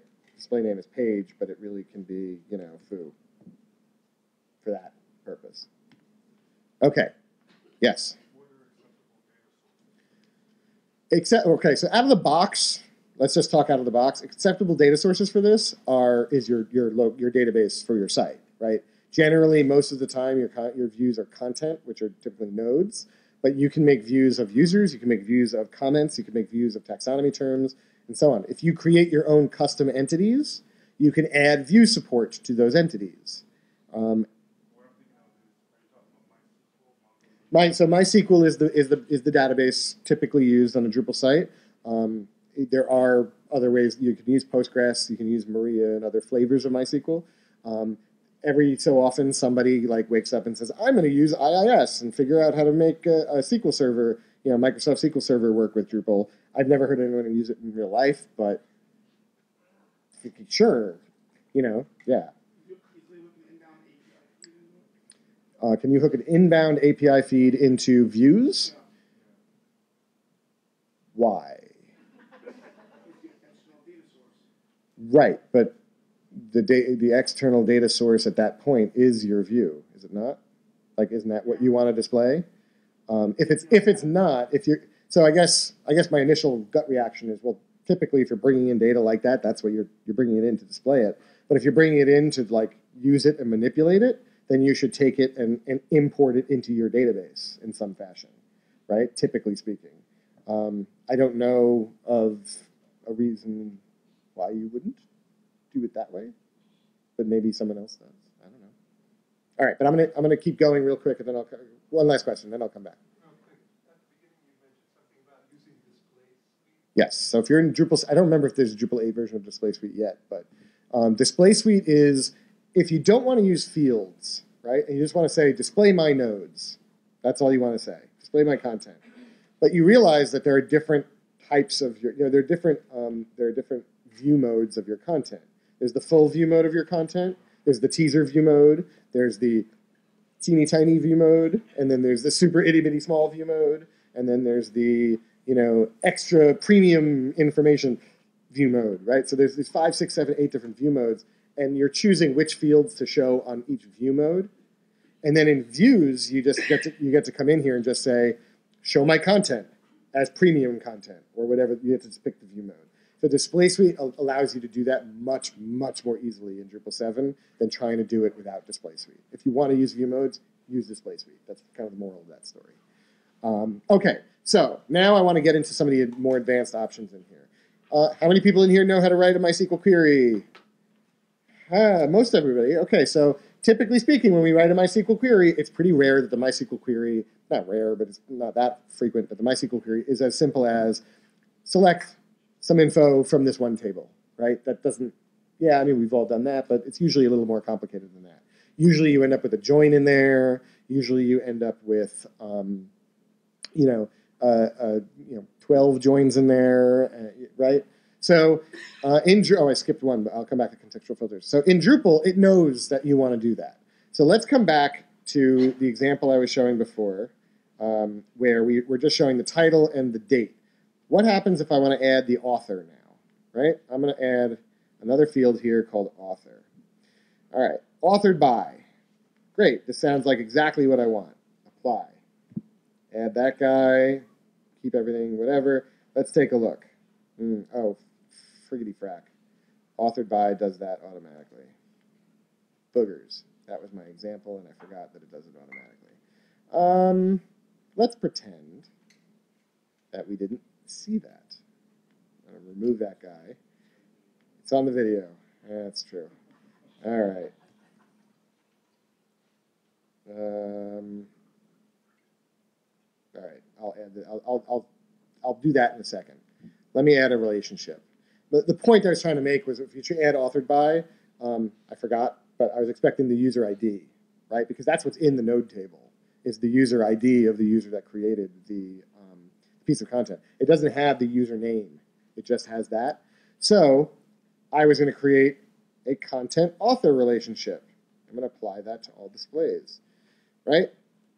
I'm going to, it asks more, but we're just going to leave the more. And now I have another relationship here, which is a relationship to the author. This is essentially a join on the user table. Okay, that's what I just created, a join on that user table, so that I can have not just the author's name, right, or username, I can have maybe their email address. That's probably not something you want to throw in on your view, but hypothetically, right? So I should be able to add now, where am I? Fields, mail, email. All right. And when I add this field, it says relationship. Where am I getting this data from? I'm getting it from the user, the author relationship that I just created, right? And the rest I'll leave, I'll, I'll make it fancy. I'll format it as an email address. Fancy, fancy. Okay. And I'll hit apply. Now, when I go down to the bottom, you'll see That's the email address of the admin user on the site who's the author of this particular piece of content. So now I've created a more complex query. I've created a query with joins in it. All right. Okay, let's keep going. A lot of times you want to filter your query, your, your view, but you want to filter it based on something that you can't predict at the time, right? You can predict right now whether a piece of content is published or not published and just say, show me published content. But you can't filter based on what someone might have typed in the URL or what country someone is browsing your site from if you hypothetically had that data available to you, right? So Views gives you a fancy um, option called contextual filters. And contextual filters, um, this is they are most useful when you use third-party um, data to go with it. The, the, places where I've seen this used most often are things like geographic data, um, things like seeing if somebody had put in an argument in the URL, like a particular argument in the URL, and you want to um, filter by that. So that's what contextual filters are. Let me see if I can um, give you a good idea of a contextual filter. Let's try created year and see how we how, how well we do with that as a as a demonstration. Derp derp. All right. When the filter value is not in the URL, what should I do? All right. Display all the results. Display none of them. Display a page not found. Display, you know, a, a blurb. Somewhere in here is display a, a, a blurb. But let's say uh, no. Yeah, there it is. No no results found. Um, I'm going to apply that. And now you'll see in the preview, there's a, there's a box in here where I can type something. And you'll notice, holy crap, nothing's there, right? All my, all my stuff is gone. Oh wait, no query was run. Update preview. Right, nothing's there. But if I type in 2016 and update the preview, all right, now I've got content again. Because I've created this contextual filter, right? Now, hypothetically, it's looking for that in the URL the way I've set it up right now. But there's other things that we can do here. Let's do something real interesting. Let's say that I want to take that created year and I want to expose this. Where is it? Do do do do do. Where's my expose this filter? Oh, it's down lower. Doop doop. Exposed form. There it is. Thank you. They moved it on me. Um, yes. So now what I've done, I'm going to update my preview. Actually, I'm going to save this because it's hard to see it on here. And I'm going to go to my, wait till it's saved. I'm going to go to my Yankees page and hit refresh. Why didn't it expose it? Ah, did I? Blast! I don't want another block. Uh, oh, yes, I do. There we go. Thank you, Scott. All right, so somewhere in here is my exposed form. Where are you? Uh, oh, wait, I got to add it somewhere. Um, place the block, and I'll type in view.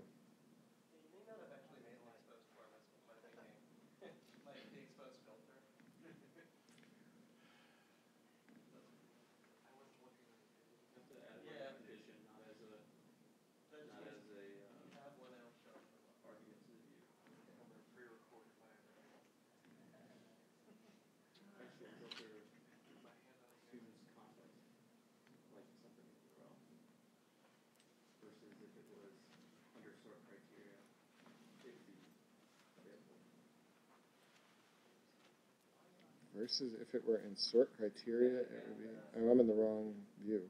Ta. What was the view called that I just created? Yankees something, right? What did I call it? Where is it? Someone says they see it. My content, thank you. Ooh, sorry, I was drunk at the time. Um, oh, Contextual filters assumes that the filter is going to be in the URL. No, I'm forgetting something. All right, I'm going to come back to this in just a minute and just demo what I'm trying to show you, and then I'll get back to why it wasn't working.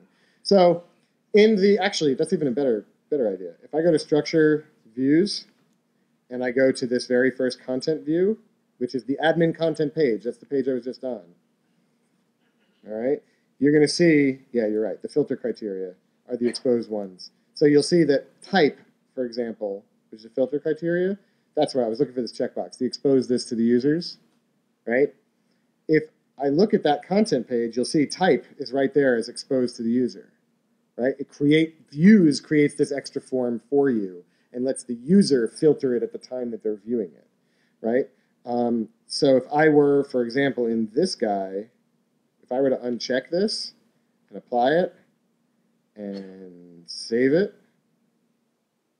I have an error somewhere because I can't do that right now. All right, you get the idea um, of what the, the uh, exposed filters are. Yeah? I'm going to move on from filters because I feel as though I've, I've flopped on my face on that one. So yeah, I'm just to keep on keeping on. Thanks. Um, okay. Uh, there's one there's one area of this that I just want to make sure that I touch on, uh, which is theming your your view, um, making your view ultimately look like what you want it to look like uh, on the front end. In the past, in Drupal 7 in particular, is an adventure in divs. All right, um, views like when people talk about like views having you know, Drupal having divitis or having horrible markup, and it has that reputation for having horrible markup and divitis. Views is why. Views is the culprit. There's reasons why views did that, um, and it was to make sure that every possible scenario that someone could come up with was taken into account when you do views. So there's a div around the entire view. Then there's a div around the display of the view. Then there's a div around each row of the view. Then there's a div around each field in each row of the view. And then there's a div around the thing inside the field that you're actually the piece of data. And all of them have classes on it. And when you actually look at the source, it's hilarious, right? Um, yeah. So uh, in Drupal 7's version of views, and I'm pointing this out because for the you know realistically most people still are on Drupal 7. There's another option in here called theme, and when you click on it, it actually tells you piece by piece what all of the templates are that you want to edit in order to make your view look like the thing you want it to you know want it to look like. The thing to keep in mind if you're doing that, if you're playing around with those templates, is that the minute you make your own templates for your views, the very minute you do it, is the minute that you break one of the options in here. Okay? So you just have to like tread real lightly when you when you decide you want to you know uh, theme your own view and and not um, not use some of the, the kind of the default themes that are in there. That's not to say you shouldn't do it because let's face it, some of the views look pretty ridiculous unless you make it look the way you, you want it to. Um, but when you get in there, make sure you kind of understand um, uh, what the initial template looks like, right? What the views default template looks like, so that you can copy that template and then just change the things in there that you need to change my first instinct was always, always to rip out as much of that as I possibly could to make my markup look better. And then I would cry about two weeks later when I tried to like check off this use Ajax button and nothing worked. Everything went straight to hell. Um, so I'm just kind of throwing that out there and making sure everybody understands. Um, uh, yeah, I'm not going to go through the rest of these settings because I think I'm running a little long. Um, but there's some lots of other good stuff in here. Um, to sum up, Views is, first of all, before it was brought into core, Views is by far, by leaps and bounds, the most downloaded module in all of Drupaldom. Um, it's the last time I looked, it was something like 980,000 downloads, and that doesn't account for the fact that most sites don't actually report their their their module usage back up. Um, and the next module down was something with like 600,000 or something like that. So it's it's used by pretty much every site that you've ever seen in Drupal. Um, views is extraordinarily powerful and it can be intimidating, but it is the right tool to use in most situations. All right. If you get to a point, and you might, where you need to start tweaking your queries because your queries from views are taking a little too long, and it does give you information down here, by the way, when you run your your um, your preview. If your queries are taking too long, you may want to start tweaking queries that's when it's time to start asking questions about is views the right tool for me but most of the time especially for beginners views is the right tool for you the last thing i'll say is the most common question i get when i give like a views tutorial from somebody who isn't that familiar with Drupal is what the hell are you showing me all of this crap for? I can write a SQL query in about four seconds that does exactly what you just took an hour to show me. And they're right, right? They're, absolutely right. That you can write that SQL query in four seconds, and that's great, good for you. God bless. But here's the issue. When you look on Drupal.org at the modules available on Drupal.org, and this includes Drupal 8, there are hundreds and hundreds and hundreds of modules that take advantage of views.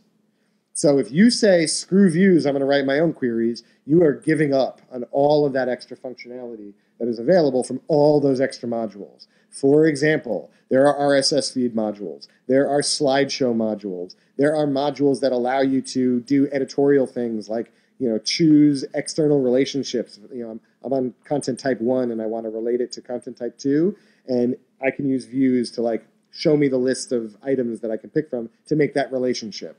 There are views to make your a dashboard for what people, you know, what uh, uh, uh, editors are doing. Whoever just logged in has worked on recently. Um, there are modules I could keep going for a really, really long time. The point is, yes, it can be hard to learn views at first, but it does get pretty easy once you get into it. And once you're comfortable in views, the possibilities of Drupal become open up tremendously. So don't don't look at views. Go, holy sh! There's so many options in here. I don't want to do this. I don't. It's too much. It takes too long. And just go right to writing your queries again. Don't do that. You're doing it wrong. Okay.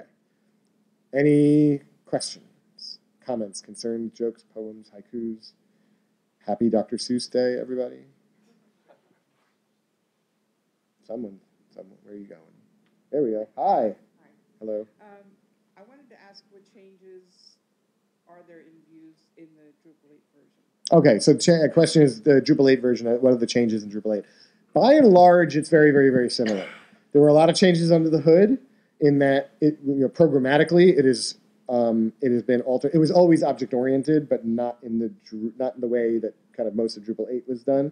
Um, but in terms of like features and functionality, uh, the fact that there's entity reference in here and embed in here, those are new. Um, the fact that there's um, what was the other one? There's um, there was one other that I noticed the other day, and I can't remember what it was. Um, Bollocks. It was in here somewhere. I don't remember. But really, feature wise, almost nothing. The other big change having to do with views, though, which I, I want to underscore a little bit, is that all the admin forms in Drupal, all the admin uh, uh, forms, all the admin screens in Drupal that show you lists of things are now views, which means that you can now decide, hey, that people view that you get when you click on the people page, I want to edit that and make it a little bit different, right? I want to make it what I want for my site. So I'm going to go to views and go to people. I'm going to duplicate this view, or I'm going to disable this one and enable a duplicate of it, which is a best practice, by the way. You may, you probably don't want to just go have at it at the one that comes with Drupal. You really want to duplicate it, disable the first one, and then make your changes in yours. Um, but I'm just going to go to the edit screen for this. Um, if? Hmm, what? Oh. Uh, you can, and because it's technically speaking, there's nothing wrong with it. It's just a best practice not to. So you can look back at how it used to be. Um, that's really what it boils down to. Sure. That's that's fair. Every time, yes. When you let people have more and more options, then you know, yeah. But if you do it well enough, you put yourself out of business. So who knows? But anyway, point being that I could say, hey, I want to add an extra field to that people view that came with Drupal. I can just do that now. So that's a big change. Um, and that could actually be very, very powerful to make some, some nice editorial improvements very quickly. Okay. Uh, wow. You just punched him in the face with the mic. What about theming? Theming in eight. Yeah. Theming views, is it easier? Um, theming in general is easier in 8. Um, I personally have not done much, but theming in general is objectively easier in 8. Um, they introduced Twig. They did a whole ton of work on the theming and the theming engine in, in Drupal. Um, with views in particular, they've certainly cleaned. I know that they've cleaned up the templates and they've made them simpler, which is great. Um, I don't know why they actually got rid of that theme link. I feel like I'm missing something, to be honest.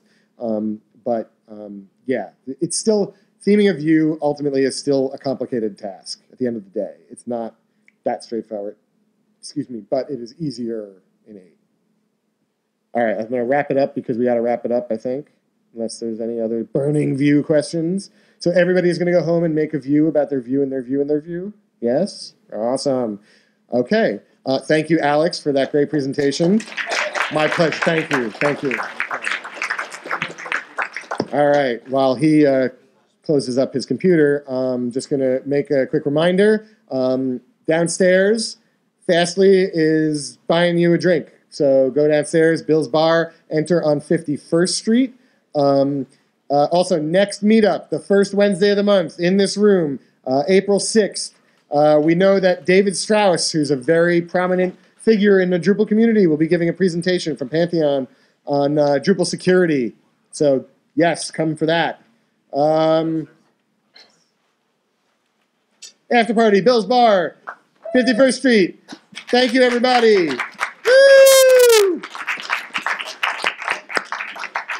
Yeah.